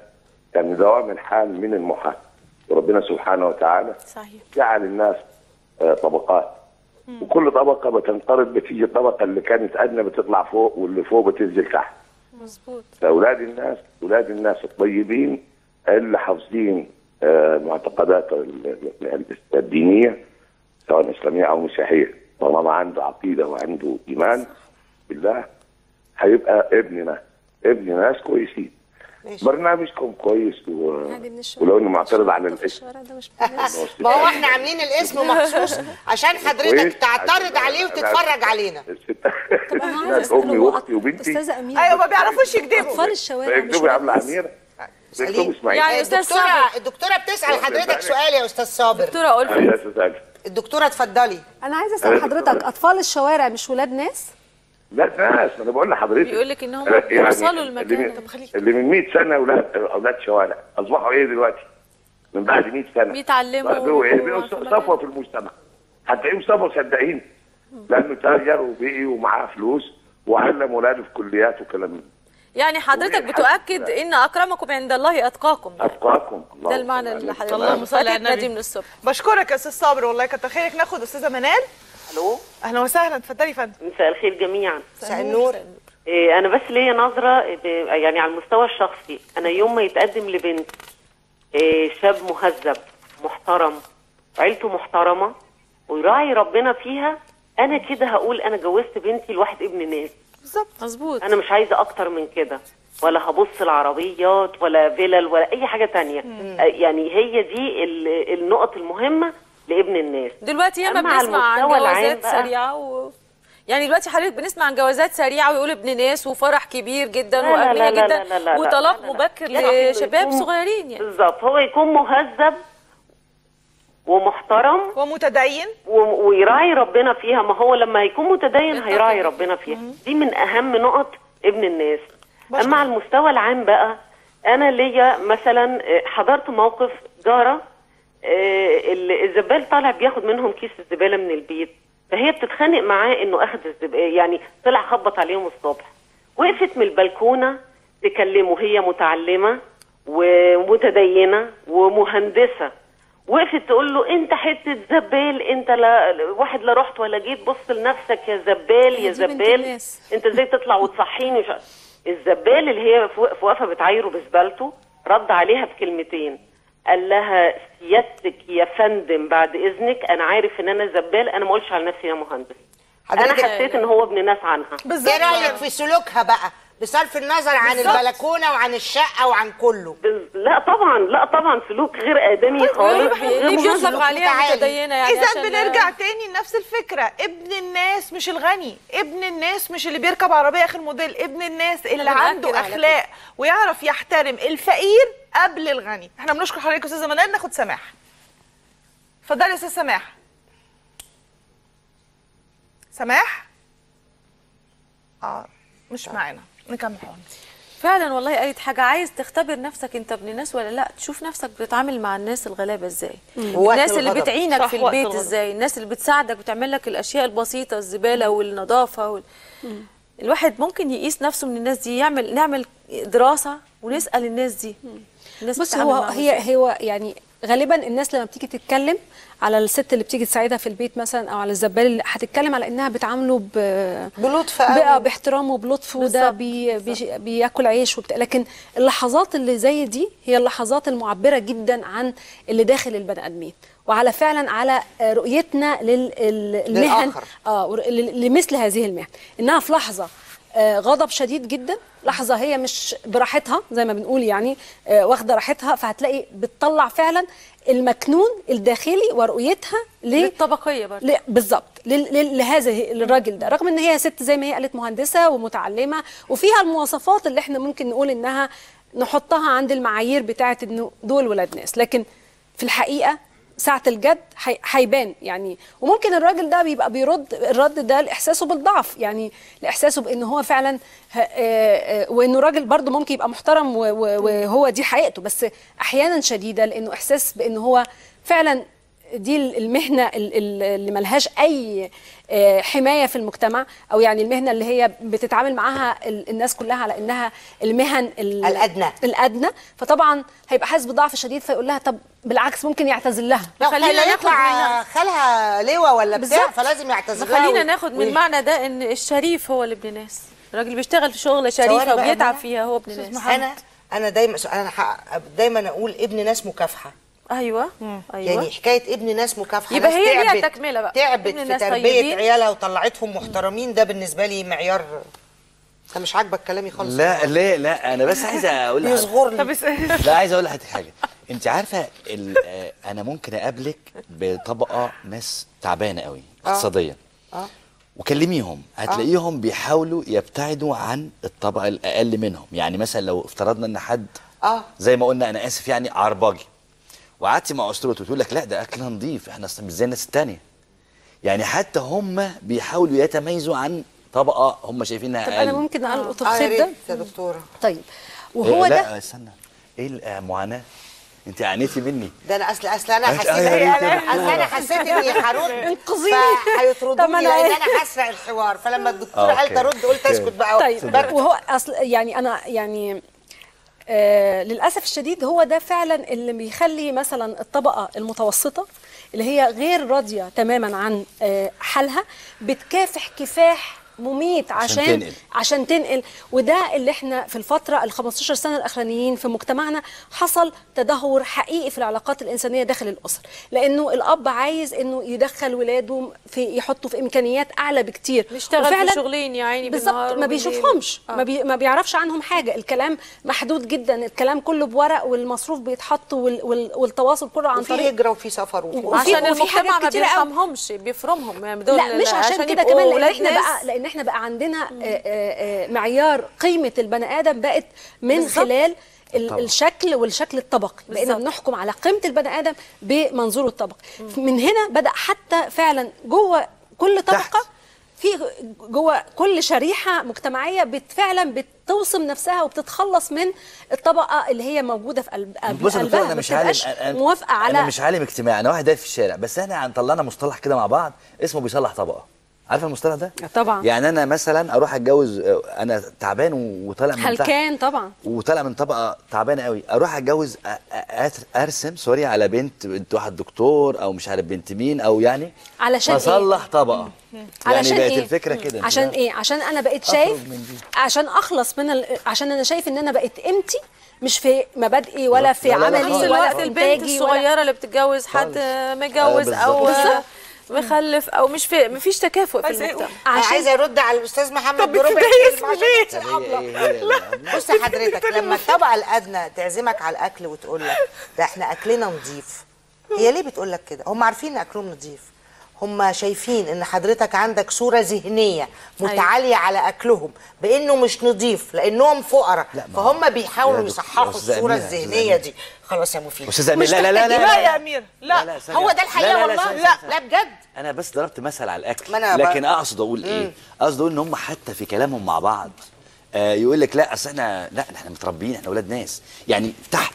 أنا بتكلم على ناس لو لا. قوي مش محتاجين يستخدموا المفردات دي الا لما يبقى في حد خارج جاي من خارج هو. في ما لا شك فيه لأنهم محتاجين؟ إنهم يثبتوا أنصفيني، دكتور. لا هم عشان محتاجين بس يثبتوا لنفسهم ويثبتوا لل... للآخر اللي جاي من طبقة خارجية برضه هم كده طيب نفس هو لا دكتور أنا أنا بس قصدي ما بيحتاجوش. يستخدموا أنا المفردات عايزة دي أقول حاجة إحنا من الواضح إن كلمة ابن ناس مش هو اللي إحنا كنا قاصدين عليها من واضح إن مجتمعنا أصبح بينظر للآخر بشكل طبقي بتاخد معنى نقدر نقول المفروض. إن إحنا مش. هنقول ابن ناس لا إحنا هنقول إن إحنا كمجتمع مصري ابتدى يبص لبعضه من ناحية بالمظاهر. الشكل والطبقي ده لابس إيه ابتدى ولا من زمان؟ لا من زمان آه. لا إحنا بقى لنا أكتر من من زمان من بيزيد. 40 سنة يعني من. قبل حتى وإحنا يعني محتاجين نغير الصورة بالظبط طبعا من, من, من أكيد. بداية من ما بقاش بس قيمة مش معنى كده ان ان إنها ابن ناس دي طبقية لكن إحنا بنبص لا، على لا، ابن ناس طبقي. طبقية لا، بقى. أنت؟ عايزه تغيري المصطلح ولا عايزه تغيري الطبقه اللي تساوي لا الطبقه نغير نغير المصطلح يعني وعايزين نغير المعنى المصطلح. كمان. نغير المصطلح لا ونغير يعني. نغير المصطلح ونغير استخدامه بالظبط طبعا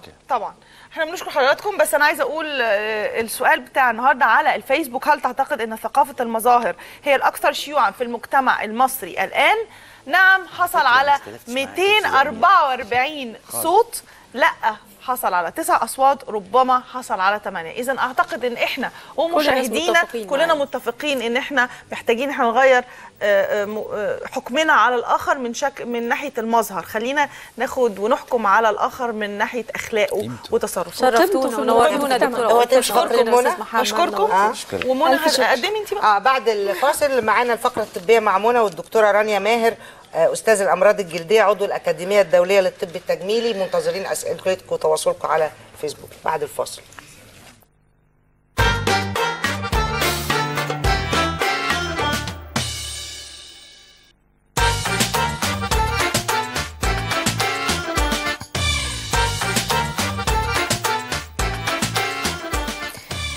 كل ما يجي الشتاء بنشتكي كلنا في شدة البرد دي إن آه، وشنا بيجف وبيقشر بيحصل مشاكل في البشرة.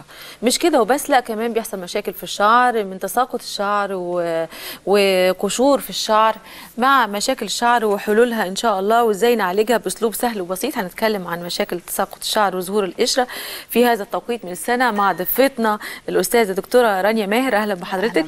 إزيك؟ وطبعا أعرفك برضو تاني دكتورة رانيا ماهر آه، عضو الأكاديمية العالمية لطب التجميل وأستاذ في الأمراض الجلدية.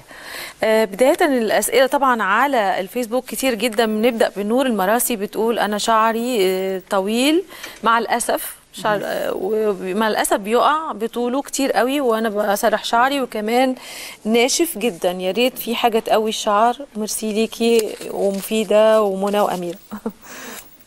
آه، طبعا مشكلة سقوط الشعر دي مع الشتاء بتبقى زايدة لأنه عندنا ال- البشرة الدهنية حتى لو كانت بشرة دهنية الشعر مع استعمال الكريمات مع استعمال الزيوت مع وجود الطقس البارد حتى مصر السنة دي جاية أبرد من كل سنة كل ده بيزود القشرة بيزود الدهنية بتاعة الشعراية بتاعة فروة الراس تخلي جلدة الراس مش قادرة تمسك غير. المفهوم عند الناس إن ممكن يكون شعري جاف الشعر الجاف حاجة وفروة الراس ال- اللي مش مستحملة اللي. فعلا دهنية ما ينفعش أجيب عندها لا conditioner أو مرطبات أو كريم أو زيوت. كل الحاجات دي هتخلي الشعراية تضعف هتخلي جذور الشعر أضعف من ال- اللي إحنا عايزينه يكون عليه. آه، دايما بنصح في الشتاء بلاش تحرك الفرشة أو المشط على جذور الشعر. آه، بنقول بلاش نجيب مية برد عند فروة الراس. آه، إذا اللي محتاجها إذا عنده فعلا شعر متوازن أو جاف كشعر وكفروة راس استعمل الزيوت. لكن إذا مش محتاجها ما تجيبش أي كريمات أو زيوت عند فروة الراس وما أكثر حكاية الزيوت والكريمات دي اللي هي بتبقى استعملها على الشعر. عادية جدا. لكن على ال- على ال- الجلد نفسه. لا ده خطير. طيب عندنا كمان آه، رقى منصور بتقول عندي مشكلة في بشرتي لو سمحت اسألي الدكتورة. آه عندي بقع سودة وعندها رؤوس سودة في الأنف.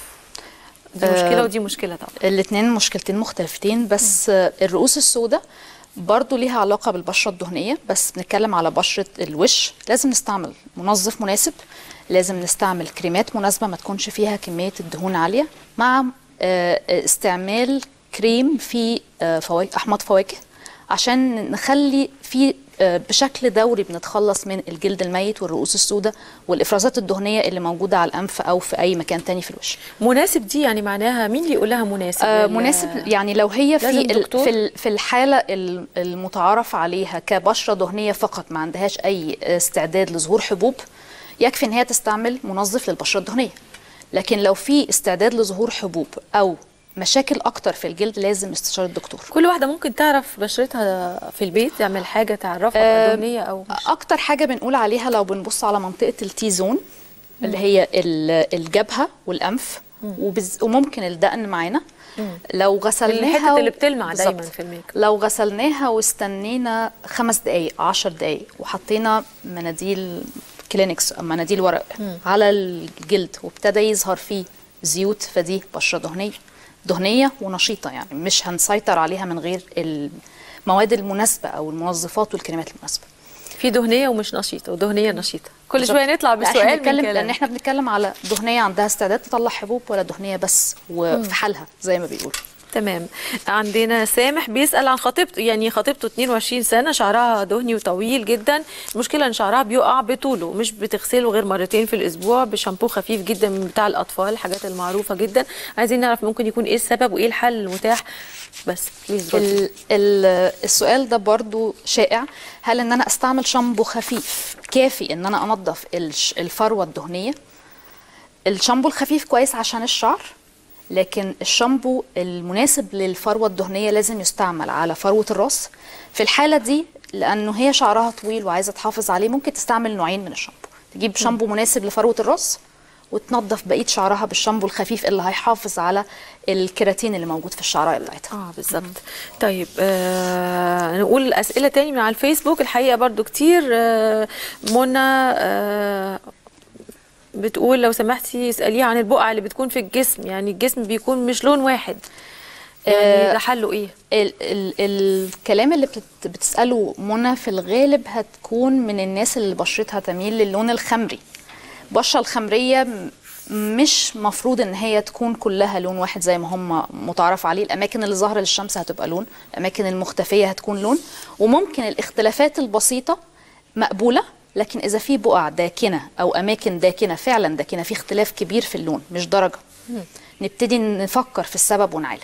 لكن كتوازن الجلد مش لازم يكون كل لون واحد وده عادي ده أمر عادي بتسميه normal variation يعني عادي في كل الناس. تمام. معانا تليفونات بدأت كتيرة مستنيين. هالة السلام عليكم. الله وبركاته إزيك يا هالة؟ اتفضلي بالسؤال. منى عاملة إيه؟ الحمد لله حبيبتي الدكتوره حضرتك؟ الحمد لله تمام. ممكن اكلم الدكتوره؟ دكتورة رانيا معاكي آه مساء الخير يا دكتور. يا أهلا اتفضلي. ازي حضرتك؟ مساء النور. آه بعد إذنك يا دكتورة أنا عندي في فروه شعري اكياس دهنية. أوكي. فاكياس دهنية. في أي التهابات معاها؟ نعم؟ أي التهابات معاها؟ لا مفيش التهابات بس هي عالية السنة. يعني آه، كبيرة شوية. ما دي لازم تتشاف عشان يشوفها طبيب متخصص عشان يعالجها لك مظبوط لازم تكشفي عند طبيب متخصص.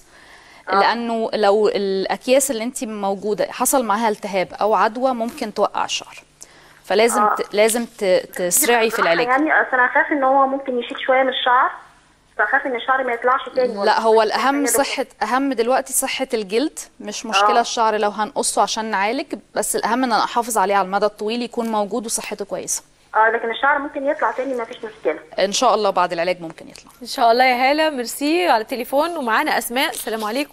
عليكم السلام. إزيك يا مدام منى؟ الحمد لله يا أسماء. آه معلش أنا كنت عايزة أسأل الدكتورة بس ممكن اتفضلي دكتورة رانيا معاكي. آه أنا كان عندي آه آه مسام مفتوحة في وشي كده وعملت جلستين ليزر آه بس حاسه إن مفيش نتيجة زي اخرام كده في وشي. فمش عارفة بصراحة أكمل ليزر ولا في حل تاني؟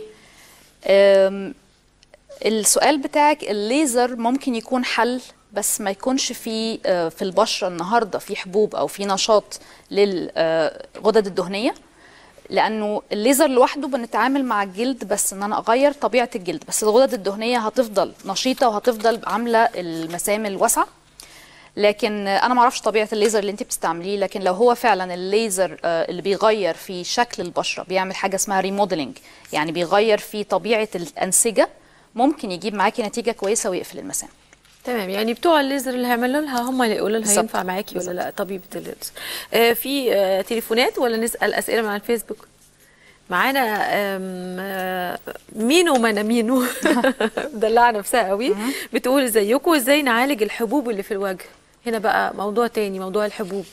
آه، أنا بس في في السؤال ده عايزين ندي نصيحة للأول للناس قبل ما نقول على علاج الحبوب. النصيحه هتيجي إنه مش معنى إن أنا وشي دهني وإن عندي حبوب إن أنا أستعمل حاجة تنشف البشرة. جامد. لأنه البشرة هترد برد عكسي تعمل ضعف كمية الدهون اللي بتفرزها. فكده أنا بعمل العكس اللي أنا عايزه. فنستعمل إحنا ممكن منظف نيجي نعالج حاجة نبوظ. الدنيا حقيقي. نستعمل منظف مناسب ونستعمله مرتين في اليوم بس ودي أفضل طريقة للاستعمال. إذا عايزين نغسل الوجه بعد كده نغسله بمية بس. آه ال ال بالنسبة للحبوب بالنسبة بلاش صابون يعني بلاش صابون مرتين في اليوم بالصابون وبقية اليوم لا. بالمية. آه بالنسبة لسؤالها إزاي أحافظ على بشرتي من غير حبوب لازم البشرة تبقى متوازنة لا هي جافة ولا فيها آه، دهون. تستعمل منظف مناسب تستعمل كريم يقلل إفرازات الغدد الدهنية. مع ده ده من عندي بقى بيبقى على جانب ده بيبقى في أكل معين دكتورة رانيا يعني آه في ناس؟ آه شوفي ال ال أوروبا في العموم يعني قعدوا سنين يقولوا الأكل ما بيأثرش في الإفرازات الدهنية بتاعة الوجه مع إني أنا مصدقة العكس من زمان. آه لكن جينا في اليومين دول بس ابتدوا يقولوا إن الأبحاث بتثبت إنه الشوكولاته والحاجات. بالظبط. الشوكولاتة والحاجات ال- اللي فيها آه، منتجات الألبان بتزود الحبوب والأكل المقلي. مقليات. طبعا. والجانك فود اللي بياكلوه الولاد آه عندنا إيمان آه محمدة على الفيسبوك بتقول عايزة حل للشعر الجاف آه وهبه دياب بتقول إيه البديل بدل الزيت للعلاج آه تساقط الشعر يعني برضو موضوع الشعر الجاف والشعر اللي بيتساقط آه، شوفي هي هي آه، فكرة الشعر الجاف زي ما قلنا لازم تتأكد انه فروة راسها جافة ولا مش جافة لأنه أي حاجة هتستعملها على فروة الراس وهي دهنية. حتى لو الشعر نفسه جاف ما تجيبش حاجة عند فروه الراس غير لو كانت محتاجاها. الشعر الجاف اعالج الشعر بمرطبات بكريمات بزيوت باللي أنا عايزاه بس ما اجيبوش عند فروه الراس دايما بنقول فروه الراس أشوف اللي يناسبها إيه والشعر أشوف اللي يناسبه إيه. يعني حضرتك دايما تتكلمي على إن دول حاجتين الشعر حاجة وجلد الراس حاجة تاني لكن. في ناس بت... الأهم عندي الأهم عندي إن أنا أعرف صحته شكلها إيه وال- ومتوازن ولا لأ فروه الراس لأنه هي دي اللي أنا حاطط عليها الأمل. لو شعرايه وقعت هتجيب غيرها آه هي لكن الشعرايه اللي- نفسها آه. دايما كنت ال- كنت بقول للناس إذا عايز تعمل تريتمنت للشعرايه فكر أنت عايز شعرايه حلوة النهارده ومش موجودة بكرة ولا مم. عايزها موجودة معاك وحتى لو هي مش عاجباك قوي بس هتقدر تتعامل على. طول الأرض. خصبة يعني بالظبط آه معانا فايزة على التليفون مساء الخير يا فايزة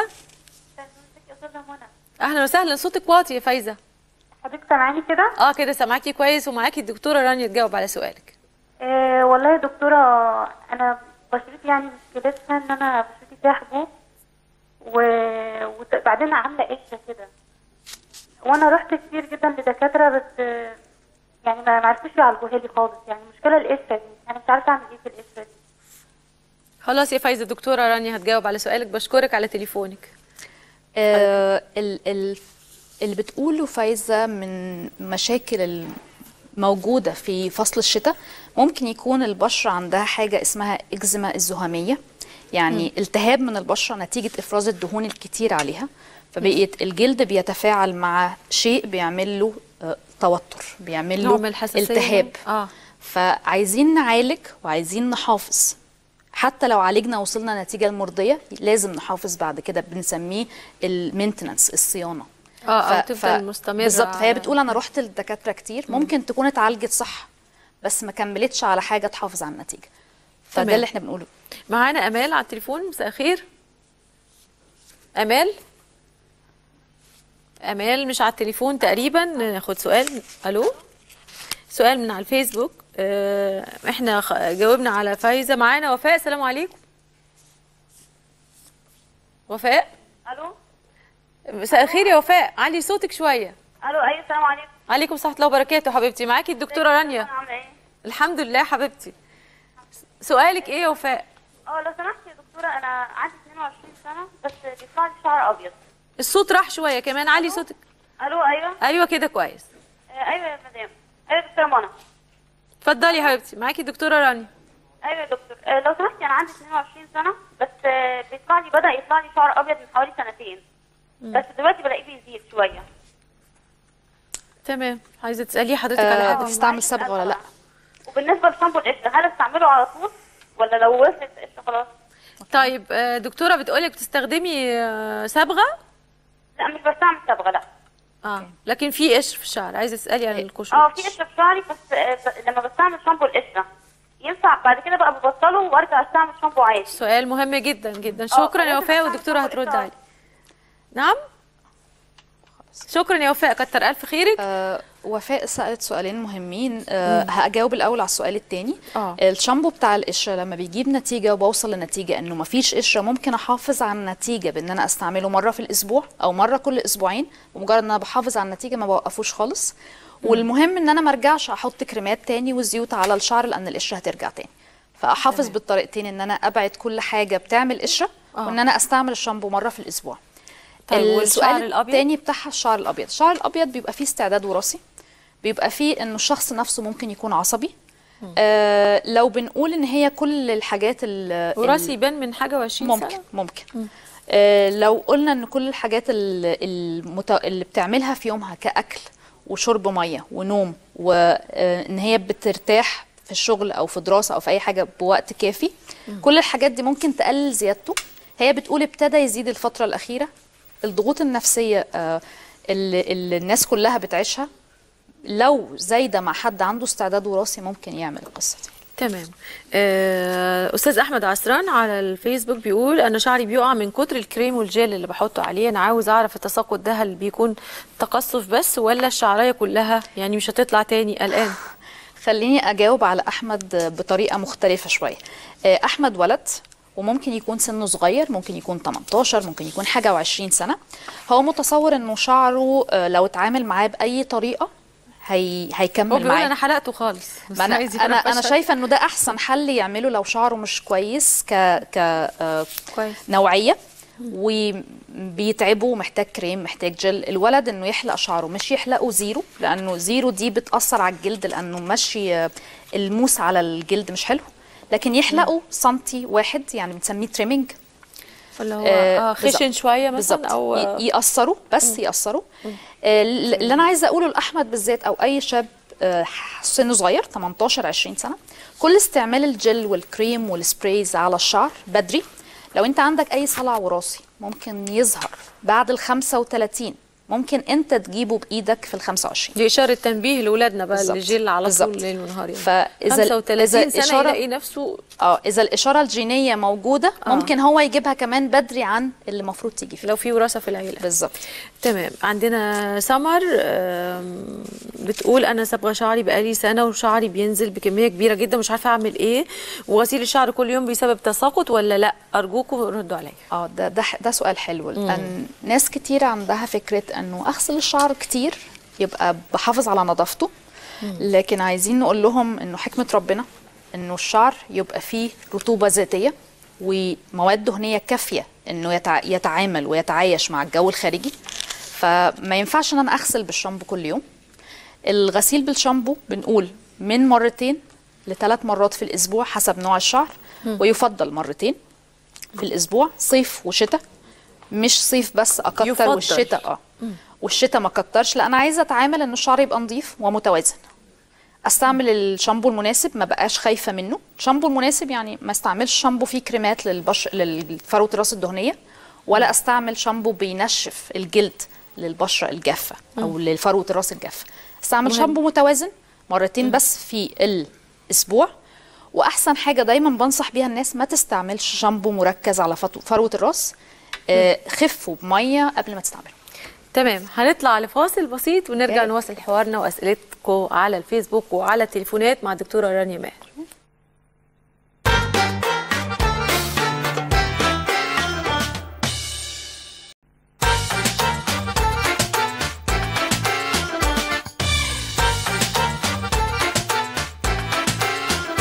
ورجعنا بعد الفاصل نواصل حوارنا مع الدكتورة رانيا ماهر عن أمراض آه، الجلد والشعر ومستنيين تليفوناتكم واسئلتكم على الفيسبوك من الأسئلة اللي على الفيسبوك آه، دعاء جويش بتقول بنتي عندها أربع سنين شعرها حلو قوي ومفروض دايما لكن بيبقى هايش تعمل له إيه آه، السؤال ده مهم عشان الشعر بتاع الأطفال ما نتعاملش معاه بأي منتج من آه. غير ما نعرف نوعيته لأنه زي ما آه. بنقول عايزين نحافظ دايما على طبيعة المصنع بتاع.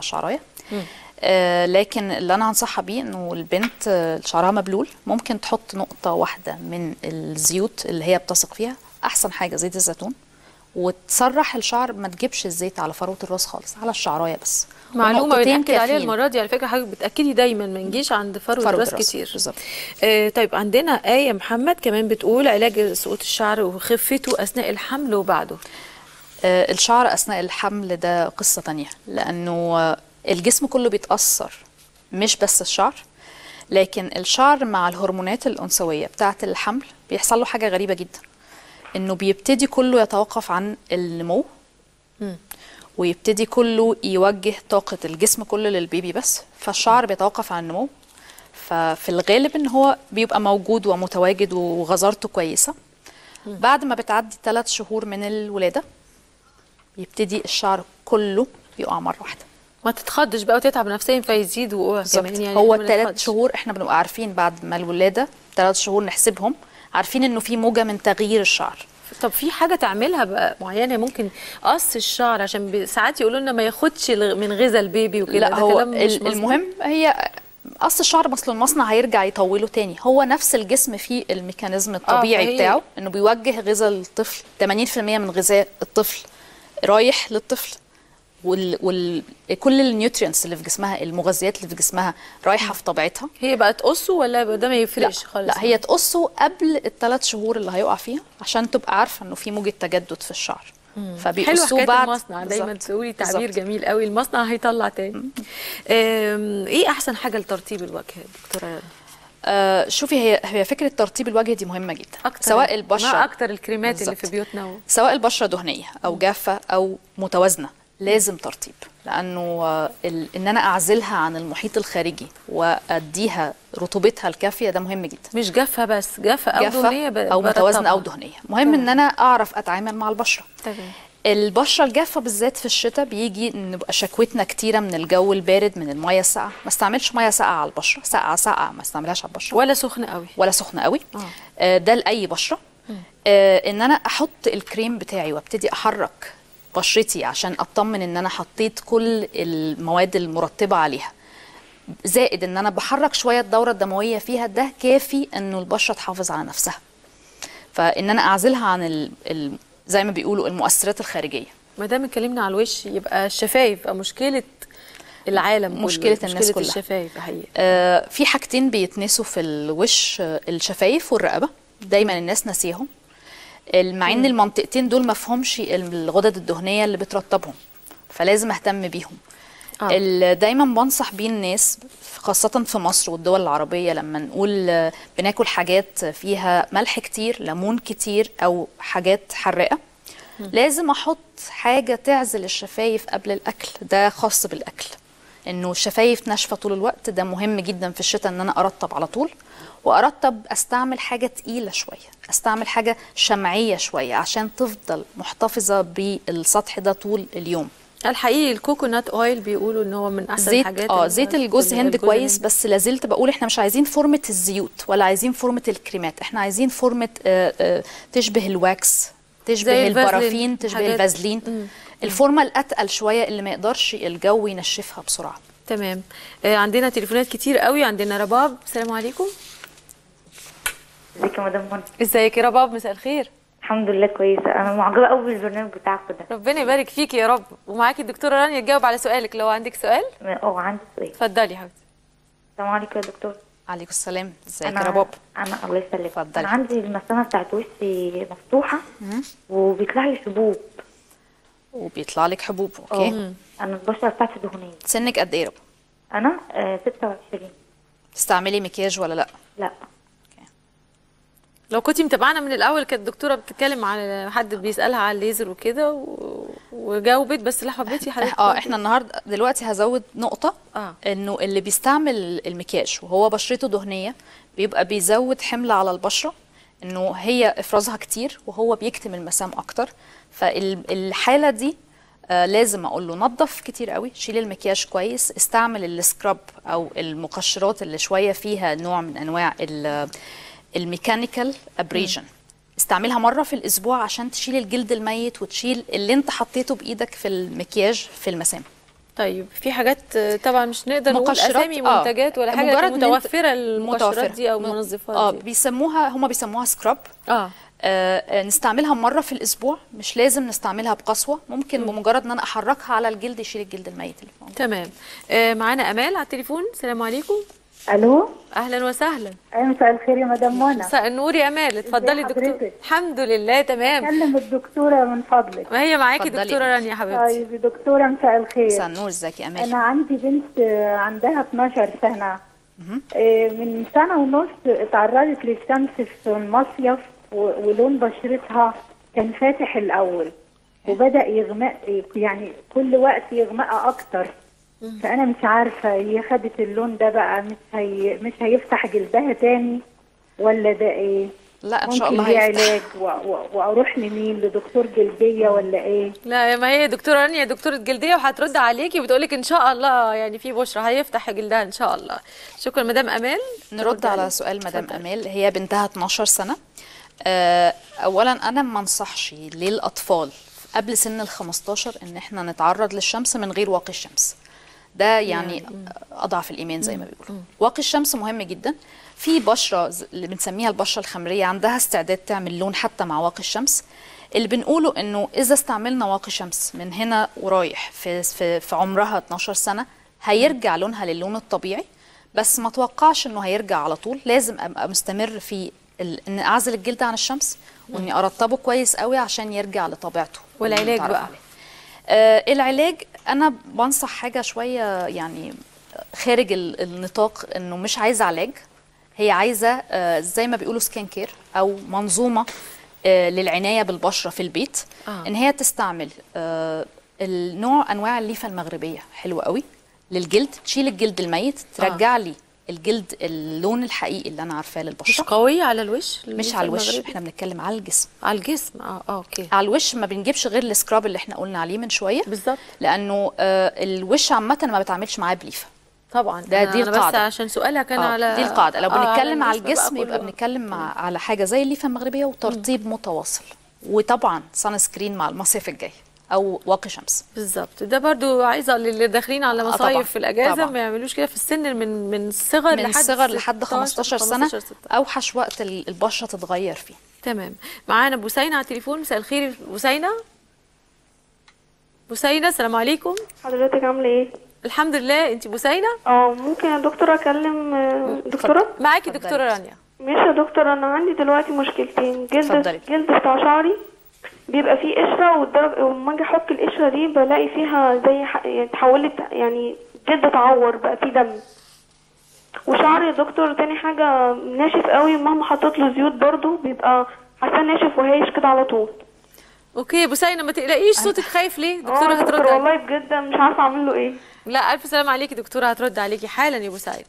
آه، في سؤال بوسينة نرجع لنقطة مهمة جدا هي بتستعمل زيوت عشان شعرها ناشف بتستعمل الزيوت آه، أكتر للشعر بس هو اللي بيتأذي في الحالة دي جلدة الراس أيوة. بتعمل قشرة والقشرة بتعمل التهاب تحتيها وبنبتدي ندخل فيه إنه ه... ه... هشوف جلد مش صحي تماما ده اللي بيعمل الالتهاب ده اللي بيجيب. الدم اللي بتقول عليه بالظبط آه. فلازم نعالج القشرة ولازم نقول بعيد عن جلدة الراس. استعمل أي مرطبات للشعر بعيد عن جلدة الراس. بنأكد برضو تاني نفس بالظبط. المعلومة. بالظبط. آه دلوقتي معانا فاتن على التليفون. مساء الخير. فاتن؟ أعتقد سيبناها شو. أيوه مساء الخير يا فاتن. مساء الخير يا أستاذة منى. أهلا مساء النور اتفضلي. حضرتك. الحمد لله يا حبيبتي. أكلم الدكتورة لو تسمحي؟ معاكي دكتورة رانيا ماهر؟ متشكره مساء الخير يا دكتور. مساء النور. اتفضلي يا فاتن. آه لو تسمحي أنا ك... أنا عندي 45 سنة وكنت عملت عملية استئصال رحم من خمس شهور.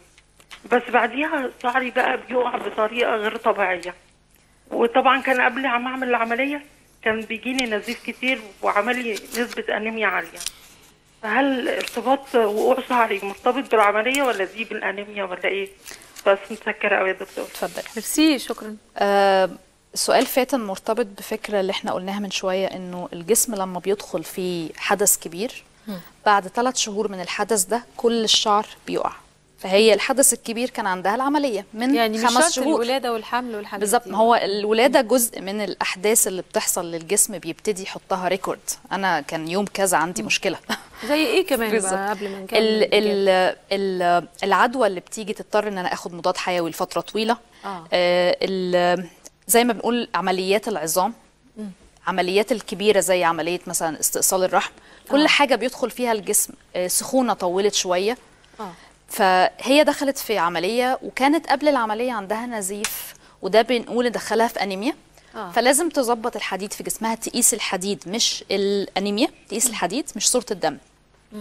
وتظبط الحديد بتاع جسمها زائد إن هي تبقى عارفة إنه اللي بيقع دلوقتي هيرجع تاني لو الجسم صحته اتحسنت. يعني نحسن بس. الصحة إن شاء الله وما. نتخضش خالص.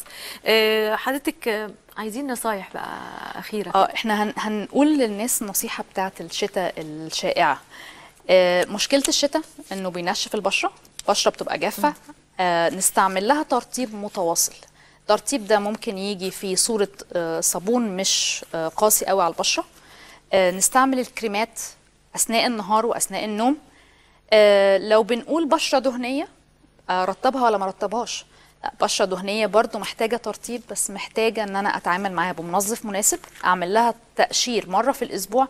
التقشير اللي إحنا بنحكي عليه في البيت إنه يكون بس بالسكراب وما يبقاش بمواد كيميائية غير باستشاره الطبيب لأنه التقشير في البيت لما أنا أقرر هستعمل حاجة على بشرتي وأنا مش متأكد من رد فعل البشره عليها ممكن يودينا في مشاكل كبيرة في للبشره حروق وحاجات والعياذ بالله بالظبط. فإحنا نقول أبسط حاجة ممكن نستعملها للبشرة الدهنية ال scrub وحتى دلوقتي بقى فيه soft scrub للبشرة العادية والجافة. الجافة ما بنجيش عندها بمقشرات ولا بال scrub غير لو ابتدت تشتكي من حبوب في فترة من فترات الشهر أو في آه، مع مع استعمال كريمات معينة ظهر فيها. حبوب أرجع استعمل لها ال scrub طب إحنا مازال عندنا وقت وبيقولوا لنا في تليفون. شيرين مساء الخير. مساء النور. أهلا وسهلا. إزيك يا مدام منى؟ الحمد لله حبيبتي الحمد ممكن لله. اكلم الدكتورة. أنا دكتورة عايزة رانيا معاكي سؤالين اتفضلي معاكي الدكتورة. okay. دكتورة لو سمحتي أنا دلوقتي آه، كنت آه، حامل وبعدين ولدت وشعري ابتدى يقع. فأخدت آه، مادة رحت للدكتور يعني جلدية وقال لي على مادة آه، مادة حاجة فيها مينوكسيديل ولحد دلوقتي أنا بقالي 8 شهور ماشية عليه. واداني برضو كريم للشعر واداني فيتامين واداني آه، حديد. فأنا عايزة أعرف لحد إمتى هفضل مستمرة على المينوكسيديل دوت؟ و أو أنا قريت في النشرة بتاعته إن أنا لو وقفته آه، هيرجع الشعر يقع تاني بعد أربع شهور تقريبا من وقوفه. فعايزة أعرف دي حقيقة ولا لأ. والسؤال الثاني إزالة الشعر بالليزر آه، بيروح خالص بعد آخر جلسة ما بيرجعش تاني ولا بيرجع تاني؟ عشان أنا في أول جلسة دلوقتي. م- ما بيشيلش الشعر يعني بيفضل الليزر في مكان إيه؟ وبتقولي بيشتغل على ال- على الجذور جوه يعني. نتكلم على الوجه ولا مش على الوجه؟ آه على الوجه. نجاوب على سؤالها. أول حاجة هي بتتكلم على الشعر مع الحمل. إحنا قلنا إن بعد الحمل بثلاث شهور الشعر هيقع كله. الدكتور اداها من أكسديل. هو مادة كويسة عشان تحفز المصنع تطلع لي مجموعة جديدة من الشعر. آه لما نيجي نوقف المينوكسيديل ما نوقفوش مرة واحدة نوقفه بالتدريج ونفضل نستعمله مرة في الأسبوع عشان نحافظ على النتائج. اللي أنا عايزة أسأله لها هل شعرها قبل الولادة كان كويس ولا قبل الحمل تماما كان كويس ولا لأ؟ هي هترجع لنفس الصورة دي لو وقفت المينوكسيديل انت معانا لسه يا شيرين ولا بتاعي شيرين قفلت. آه آه. فالفكرة إن هو مش حكاية إنه الشعر هيقع. الشعر اللي موجود النهارده جزء منه هيقع لكن هنرجع للصورة الحقيقية للشعر. لو هي كان كويس الشعر معاها قبل الحمل خالص توقف المينوكسيديل بالتدريج زي ما قلنا. لو كان أقل من اللي هي عايزاه قبل الحمل يبقى تكمل على المينوكسيديل ولو حتى مرة واحدة في الأسبوع. تمام. في أي نصايح تانية تحبي تنصحينا بيها؟ آه النصيحة الأساسية في الشتاء إنه بشرة الأطفال ما نغسلهاش كتير لأنه الناس. عندها مشكلة تغسل الأطفال إيديها كتير بيحصل جفاف بيحصل اكزيما على سطح ال- الجلد. عايزين نقول الترطيب والحفاظ على بشرة آه، تقدر تعزل نفسها عن المحيط الخارجي أهم بكتير من التنظيف الزيت. ادونا وقت كمان ومعانا أربع دقايق. هي. يعني عندنا نسمة على الفيسبوك نسمة يسري بتقول أنا عندي حتة في أول شعري خفيفة مش عارفة ليه. هو أنا عصبية وشعري جاف ومقصف والشعرة من تحت كده مقسومة اتنين. هل الشامبو والبل- والبلسم ليه ضرر على الشعر وهو الأحسن؟ الكريم ولا الزيت؟ please أعمل إيه؟ آه هنرجع نقول تاني هل دلوقتي شعرها دهني ولا مش دهني؟ شعرها جاف ولا مش جاف؟ اللي عايزين نقوله الشعرة لو اتقصف اتنين دي اتقصف اتنين دي تلف. هي أصلا الشعرايه دي product منتج آه مش حي. فإذا اتقصف ما بيرجعش يظبط نفسه تاني. مم. قلنا إنه ده منتج طالع من مصنع عايز أحافظ عليه. مم. آه، اللي يهمني في سؤالها ان هي عندها الجزء القداماني من الراس فاضي. أيوه. وده لو قلنا في عيلتها صلع وراثي لازم. نعالج عشان المنطقة دي ترجع الشعر فيها كويس. لكن الشعراية التالفة نت- تتقص ونخلص منها لأن مش هترجع تصلح نفسها تاني. تمام لكن هي بتقول أنا عصبية يعني العصبية هو الشخص العصبي لازم يبقى عارف إنه بيخسر حاجات كتيرة مش بس شعر. بيأثر شعر؟ والجلد والتجاعيد وكل حاجة. بيأثر فعلا. طبعا طبعا. تمام. آه بيرو الب... البابلي بتقول أنا عندي مدام منى عندي حساسية من الشمس. أول ما اتعرض للشمس آه عندي إكزيما الشمس. في حاجة اسمها كده. مفيش علاج نهائي للحبوب دي. أرجوكوا ردوا عليا عشان ما بنزلش الصبح خالص. آم، هو سؤالها حلو بس في بلد زي مصر الشمس موجودة طول السنة وموجودة بشكل كويس طول السنة. فهقول لها استعملي واقي من الشمس يكون في حاجة اسمها physical physical يعني في جزيئات بتعزل البشرة عن الشمس. آه، ده لازم تستعمله بشكل منتظم ويفضل إن هي تستعمله لو ناوية حتى تخرج والشمس موجودة مش بس تكون ساطعة يعني. تمام. آه بوسي بوسي بتقول مساء الخير بجد أنا بحبكم قوي وعاوزة أسأل أنا على عليا أنا شعري بيتساقط جدا. وبستعمل حاجات كتير ومفيش فايدة. وبستعمل حمامات كريم أنواع غالية ومعروفة وشعري بيتساقط جدا. وس- وسؤالي التاني بشرتي بيكون زي بتقشر مش جلد بيطلع لكن بيكون زي قشر. لو سمحتي آه، آه، تسلم عليك وبتسألك السؤال ده. آم، آه، رجعنا نقول لو في في البشرة تقشير آه لازم أرجع أعمل حاجة زي سكراب عشان أتخلص من الجلد الميت. آه. وأرطب عشان القشرة دي ما تبقاش ظاهرة وما تبقاش مضايقاني. فحاجتين مع بعض إن أنا أتخلص من الجلد الميت وارطب آه إذا بتتكلم على القشرة بتاعت شعرها ولا بتاعت وشها القشرة؟ شعري بيتساقط جدا. آه إحنا قلنا آه، آه. البنات البنات لما بتسال على البشرة قشرة البشرة. آه قشرة البشرة زي ما قلنا ترطيب على طول ومنظف مناسب وممكن تعمل سكراب مرة في الأسبوع. لكن إذا سقوط الشعر في البنات لازم أقول في رجيمات ولا ما فيش رجيمات؟ آه بناكل أكل متوازن ولا لأ؟ صحتنا أخبارها إيه؟ بالذات في البنات لأن عندي كل حاجة في البنات عندي ال- الدورة الشهرية وعندي أكل مش متوازن وعندي رجيم طول الوقت ما بتشربش مية كويس كل ده لازم يتظبط عشان الشعر يتظبط.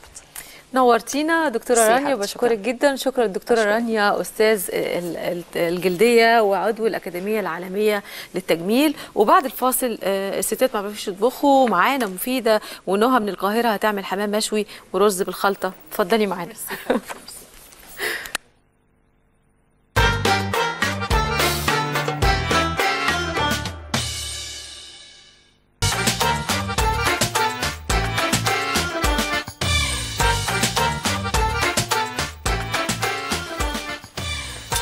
مشاهدينا مرة تانية وفقره ستات معرفوش يطبخوا معانا صديقتنا نهى. ومنورانا النهارده ونهى هتعمل لنا محشي آه، حمام آه، لا حمام مشوي مع الرز. صح كده؟ صح نورتينا. نورتينا يعني أهلا بيكي وانت بتحققي. امنيه مفيدة. بقى لها سبع شهور بتقولي آه. الشيف محمود عايزين نتعلم مشوي حمام. والمرة الجاية تيجي تعمل لنا حمام محشي, محشي. بقى. خلاص من عينيا إن شاء الله. تنورينا؟ إن شاء الله وتقولي لنا الأول مقادير وبعدين نتكلم مع بعض. المقادير عندنا النهارده حمام بلدي. أوكي. زيت زيتون زعتر بصل مبشور بنبشره في الكبة آه وعصير ليمون مقدار مثلا نص كوباية وملح وفلفل ومعلقتين سكر كبار ومعلقة خل كبيرة. ومعلقة كاتشب ودي دي مقادير. في مقادير بقى للرز تاني آه كوبايتين رز وكبد وقوانص حسب الاحتياج ممكن ربع كيلو مثلا وكوبايتين شوربة وبهارات ومكسرات ومعلقتين قرفة. ومعلقتين؟ معلقتين, معلقتين قرفة. قرفة. تمام. المكسرات أي مكسرات عندنا تحبي. نشتغل إيه الأول؟ أول حاجة بنعمل التتبيلة بتاعه الحمام. يلا. أجيب لك إيه ولا أعمل لك أساعدك إزاي؟ أول حاجة مين علمك بقى تعملي الحمام ده؟ تعالي بقى هنا مكاني وأنا معاكي. ماما. طبعا حاجات الأمهات الحلوة دي. بنجيب الحمام. هو طبعا. بيبقى بنجيبه مش مفتوح بنفتحه من الظهر. آه بتنضفيه آه بيتنضف طبعا. ومتنضف وكل حاجة. وبن... بندوس عليه ها؟ عشان نكسر العظم اللي فيه. آه يعني كده. آه. عشان التتبيلة تدخل جواه. آه. كاتشب؟ نحط الكاتشب. ممكن لو مفيش كاتشب ممكن نحط صلصة طماطم. أو طماطم بنضربها في الخلاط عادي. برضه آه عادي.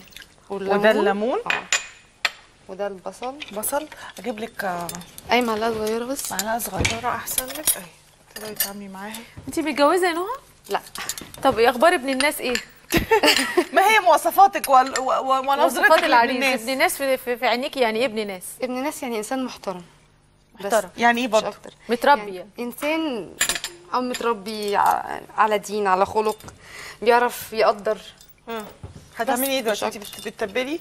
آه. حطيتي التوابل والليمون عايزة إيه؟ والبصل؟ ملح. ملح أيوه. وهتحطي زيت؟ عليه؟ لا. طيب. ممكن آه الزيت الزيت معلش. صح؟ ده مفيدة حافظة. مفيدة زيت. حافظة. شيف محمود. وفي هنا دي عندنا سر. أي توابل. في توابل دي توابل باربيكيو ممكن آه. ممكن لو انت مثلا بتحبيها في البيت مشطشطة سنة يعني. بس. حطي بقى ايدي ما ما- اقلعي بس الخاتم. ما أنا هقلع. آه زي ما أنا بتعامل اتعاملي كأننا في المطبخ وممكن تلبسي جوانتي لو عايزة. بعد إيه تلحقي. بعد إيه خلاص. ماشي. بس بنتبلها كويس بيها. تمام.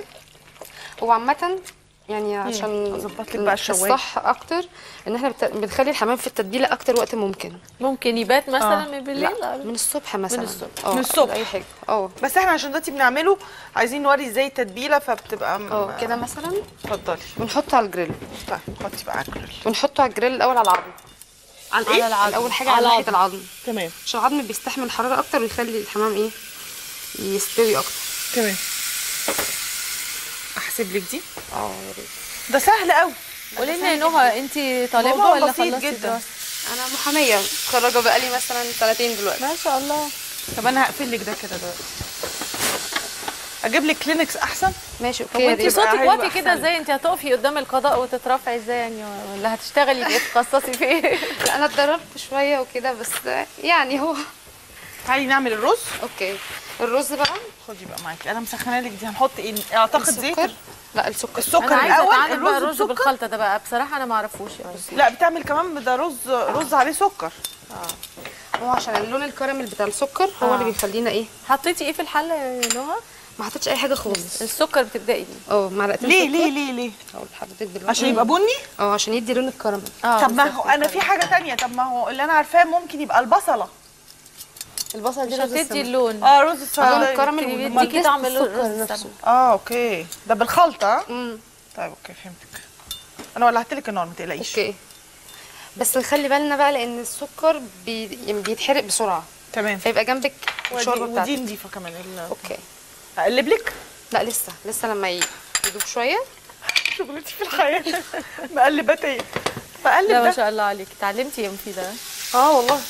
يقعد وقت قد إيه عقبال ما انقله الوش التاني؟ لا شوية شوية كده أنا بس معانا كمان هنحس بالريحة هو ال- التتبيلة دي سيبيها. أسيب آه التتبيلة دي؟ بنحطها تاني. بنحط شوية. ممكن لو لقيتيه نشف شوية آه. ساعات أي حاجة بتيجي تشويها على الجريل بتنشف شوية. آه أقوم حاطة منها. آه تحطيها خليها منها احتياطي. آه. okay.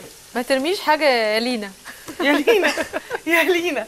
طيب إحنا دلوقتي إيه؟ مستنيين السكر السكر يتظبط؟ بيدوب بس يبقى جنبك الشوربة. دي شوربة لحمة ها؟ أو شوربة فراخ لو عندك بس عامة وعشان كبد وكده ممكن تبقى شوربة لحمة أحسن يعني. أو لو مفيش شوربة خالص ممكن مرق. طب أنا عايزة أسألك سؤال أنت صغر سنك ده يعني مخليني ممكن نعمل همبرجر ممكن نعمل خضار لكن وكده في حاجات. طب إيه اللي علمك الأكل كده. يعني بالحرفية دي أو بالشطارة دي؟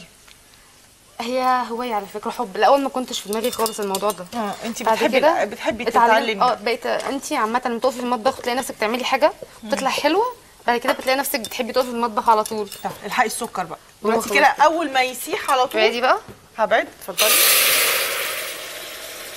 تمام. تعلمي يا منى مش عايزه تعلمي؟ آه بتعلم الشوربة. هي عملت حاضر، كراميل. تحت في أمرك. السكر شغلتي كراميل. وحطت شوربة. دي دي بهارات. تمام. كده إحنا ما حطيناش دسم. خالص. يعني مفيش أي زيوت اتحطت. حطينا البهارات أهو. شوية حبة زيت زيتون. حبة زيت أهو. الله بس لا دي بهارات معاها قرفة ها؟ ما لسه لا. إيه البهارات دي مخصوص معدات لل- جديدة يا شيف نوع إيه. البهارات دي؟ يعني مخصوص بتبقى. للرز ممكن لو ممكن جوز الطيب. ممكن آه. اي بهارات بهارات العادية اللي هي بتتجاب من عند العطار. مجموعة بهارات. آه وقرفة مثلا مقدار مثلا مع معلقتين قرفة. تمام. مش كتير معلقتين قرفة؟ لا. أوكي. ده طعمه حلو. بتميزوا برضو عن الأكل رز يا باشا، أنا ماليش دعوة. بس هو أنا آه عندي إحساس إن أنا ممكن أشرب الموضوع ده. حلو. طب انت حطيتي شوربة قد إيه دلوقتي؟ يعني حبة صغيرين. حبة صغيرين بس؟ وبحط تاني. تحطي تاني. بس أنا بلحق إيه السكر لحسن يتحرق مني خالص. آه بالظبط. وبحط الرز. عامة أنا ما بحطش الشوربة كلها في الأول. بحط الرز وبشوف لحسن يكون أكتر لأن أنا عايزة بس يا دوب بس يعني يغطي الرز. تمام. مش بالمقدار ولا حاجة؟ كوبايات طب شوربة؟ دول مثلا كوبايتين رز اللي عندي ممكن كوبايتين شوربة. طب نوع اقلب آه. طب استنى. ودي الكبد إحنا مشوحينها على النار بتوم وكمون كده- كده وبصل. صح؟ أنا كده آه. صح؟ آه صح. صح. باخد جزء منها. مشوحة إيه على النار؟ مشوحة في بصل. حلو، بصلة آه. بحط بصلة في زيت آه. أو زبدة وات آه. أي حاجة. وبقطعها حتت صغيرة. وبشوحها في بتوم وكمون. الكبد آه والفراوي الكبد. وبشوحها وباخد جزء منها بحطه في ال- مع. الرز. مع الرز. إحنا لسه ما حطيناش طب لو هي مسلوقة لسه- لسه. لو مسلوقة مش متشوحه في بصل حاجة تنفع؟ ممكن آه. ممكن. ممكن تتحط نهى انت دلوقتي قلتي لي أنا ممكن أستعمل ده. الباقي ده ممكن أحطه على مش دلوقتي. مش دلوقتي؟ لما تنشف سنه كمان. لما تحتاج يعني. يعني لما مم. تحتاج مش مش هحطه كده مع نفسي يعني. لا. طيب okay. وبحط الرز. okay. رز مغسول بس ما آه، بيتنقعش ولا. حاجة. حلو ده. ممكن انقعه شوية عشان خاطر عايز أقول لك المية تفتح والشوربة مظبوطين ها؟ تماما آه. يعني مفيش حتى حاجة حتة. وعندنا آه، مكسرات أي مكسرات في البيت ما تتقيديش بأي حاجة ممكن يكون لوز آه، حطيها مع؟ مثلا إيه؟ مع التسوية مش آه. ممكن شوية. وفي الآخر أنا عامة تخلي حبة كبد مثلا أو حبة مكسرات للآخر تحطيهم على الوش يعني في التقديم. وحمرهم. آه، ممكن أحمرهم آه، شوية حطوا على و... إذا يبقى أنا أول مرة عشان أنا أول مرة اعمل نعمل رز بالخلطة. آه. إحنا بنجيب السكر معلقتين السكر. أي في الأول. ونحط عليه الشو... ن... ن... نسيحه وبعدين نحط حبة شوربة عليهم. وبعدين. ال- توابل. ال- ال- القرفة والبهارات اللي بهارات. عندي آه. والزيت مع بعضه. وزيت آه. وبعدين أحط القوانص آه والكبد. ياخدوا غلوة القوانص والكبد وبعدين أقوم حاطة الرز. مظبوط كده؟ مم، مم. والشوربة في الآخر. بس. ومكسرات وملح. وملح وفلفل. وإحنا حطينا ملح بقى حطي. وخلاص. السكر بس. عشان آه يبقى موازن يبقى مع موازن عشان. ما يديش طعم الحلو قوي ولا ولا وحش. آه. يعني ولا مسكر قوي ولا حادق قوي. مظبوط. خلاص. بس بياخد غلوة مثلا تصبري عليه ياخد يغلي آه. زي أي رز عادي بقى. خلاص. وتوطي سهل. قوي. واحد دي ما سهل جدا. جدا ده ياخد وسريع. بقى وقت قد إيه؟ عشان أنا عندي مشكلة مع الإحساس إن إمتى وفين وإزاي. أنا أنا لسه ما أتقنتش حتة هنشم ريحة الشوي ما هو أنا شامة ريحته. لسه حلو. قوي. بس الشكل هو اللي مش مطمني. يعني أنا شامه ريحته إن في شقو ان هو بيستوي بس لسه لسه العظم وكده. قولي لي بقى. لسه لسه. لسه؟ آه. لسه خالص. لسه لسه. ممكن نعلي أهي الشوايه ده max. ده max خلاص okay. ممكن آه. كده نسيبها؟ آه. يعني تاخد وقت قد إيه يا نهى؟ يعني مثلا حوالي ربع ساعة. ربع ساعة. آه. ربع ساعة. طيب اسمحوا لنا بقى عقبال ما إحنا نتشوي طلعي لنا بقى الجزر اللي عندنا. ما إحنا هنتشوي عقبال ما إحنا نشوي ونتشوي. ده الشكل النهائي لحاجة ساقعه حاجة ساقعه جامدة النهارده. الله. رائع والريحة كمان اللي على الشواية ابتدت تظهر. جميلة جدا. يبقى بعد ما يخلص أعتقد إنها وجبة مختلفة وجديدة. أنا حابه الفكرة. طب ده تتخن دي؟ جدا. جدا؟ عشان مكسرات. أو ممكن طب إحنا خدنا مشوي. دي رز بالخلطة وأكبر خلطة تعمليها في حياتك. لا ممكن حاجة ممكن حاجة. ممكن بدل مثلا أو اولا هي معمولة كلها بزيت زيتون okay؟ آه. الرز وكل حاجة. ممكن بس نوطي على ده الأول. حاضر استنى. والرز عايز يتوطي عليه؟ آه إحنا وطينا عليها ده اوطى حاجة كده صح؟ آه. هي بس عايزة آه بزيت زيتون okay؟ ممكن المكسرات تعمليها نية. المكسرات النيه ما بتتخنش لوز مثلا بس ب- بحساب يعني. ما تحطي. حبة شوربة كمان. صغيرين. إيه رأيك؟ حطي شوربة شوية. كمان؟ شوية سنة. سنة صغيرة بس عشان خاطرك بس. آه عشان بس الناس آه، عشان خاطرك بس. بس هي المفروض تغطي الرز بس. توطيه كمان. عشان ما يعجنش وخلاص ده كده هيعجن. لا مش هيعجن مش هيعجن. لسه برضو زي ما هو. ما تعملي إيه تاني؟ أنا بعرف أعمل يعتبر كل حاجة. إيه بقى؟ بس إيه إيه إيه يعني أكتر فكرنا بحاجه حلوة هتيجي تعملها لنا. أنا آه. بألف كمان. يعني؟ بقعد الف في البيت كده مع نفسي. بعمل مثلا رز البسمتي بعمل منه بال بعمله زي لايك كبسة يعني مثلا. وبعمل مكرونات البشاميل باستات باستا بالجبنة وباستا بالكريمة أي حاجة يعني. يعني أنا عامة ليا في الأكل اللي هو الايه مش الدسم. لا مش الأكل المصري قوي اللي هو ماشي دي حاجات دي. آه. متعلماها. okay كل حاجة. حاجات إيطالي آه حاجات إيطالي. حاجات كده يعني. بس. طب المرة الجاية هتوعدينا تعملي لنا إيه بقى؟ ان هو واضح إنك انت شاطرة. الريحة روعة بتاعت الحمام ورز كده بالخلطه ابتدى ينشف؟ أعتقد. آه. شوية. لا ما تحطيليش. بس يعني هتعملي لنا إيه المرة الجاية نهى؟ والله ده المفيدة تحبه ده بعمله لها. اطلبي يا مفيدة وأموري يا مفيدة. والله أنا أنا نفسي آكل رقاق. رقاق؟ الله آه. بقالنا فترة طويلة. آه، وأنا ما بعرفش أعمل الرقاق. أنا بعرف اعمل الرقاق. لحمة مفرومة بالجبنة. آه ممكن أنا بقول لحمة مفرومة نهى مرة ثانية على وعد تعملي لنا رقاق بالجبنة وأحسنتي وتسلم إيدك. نورتينا. تسلم إيدك يا مفيدة. وشكرا وبكرة وحلقة جديدة وستات. ما يعرفوش يكتبوا.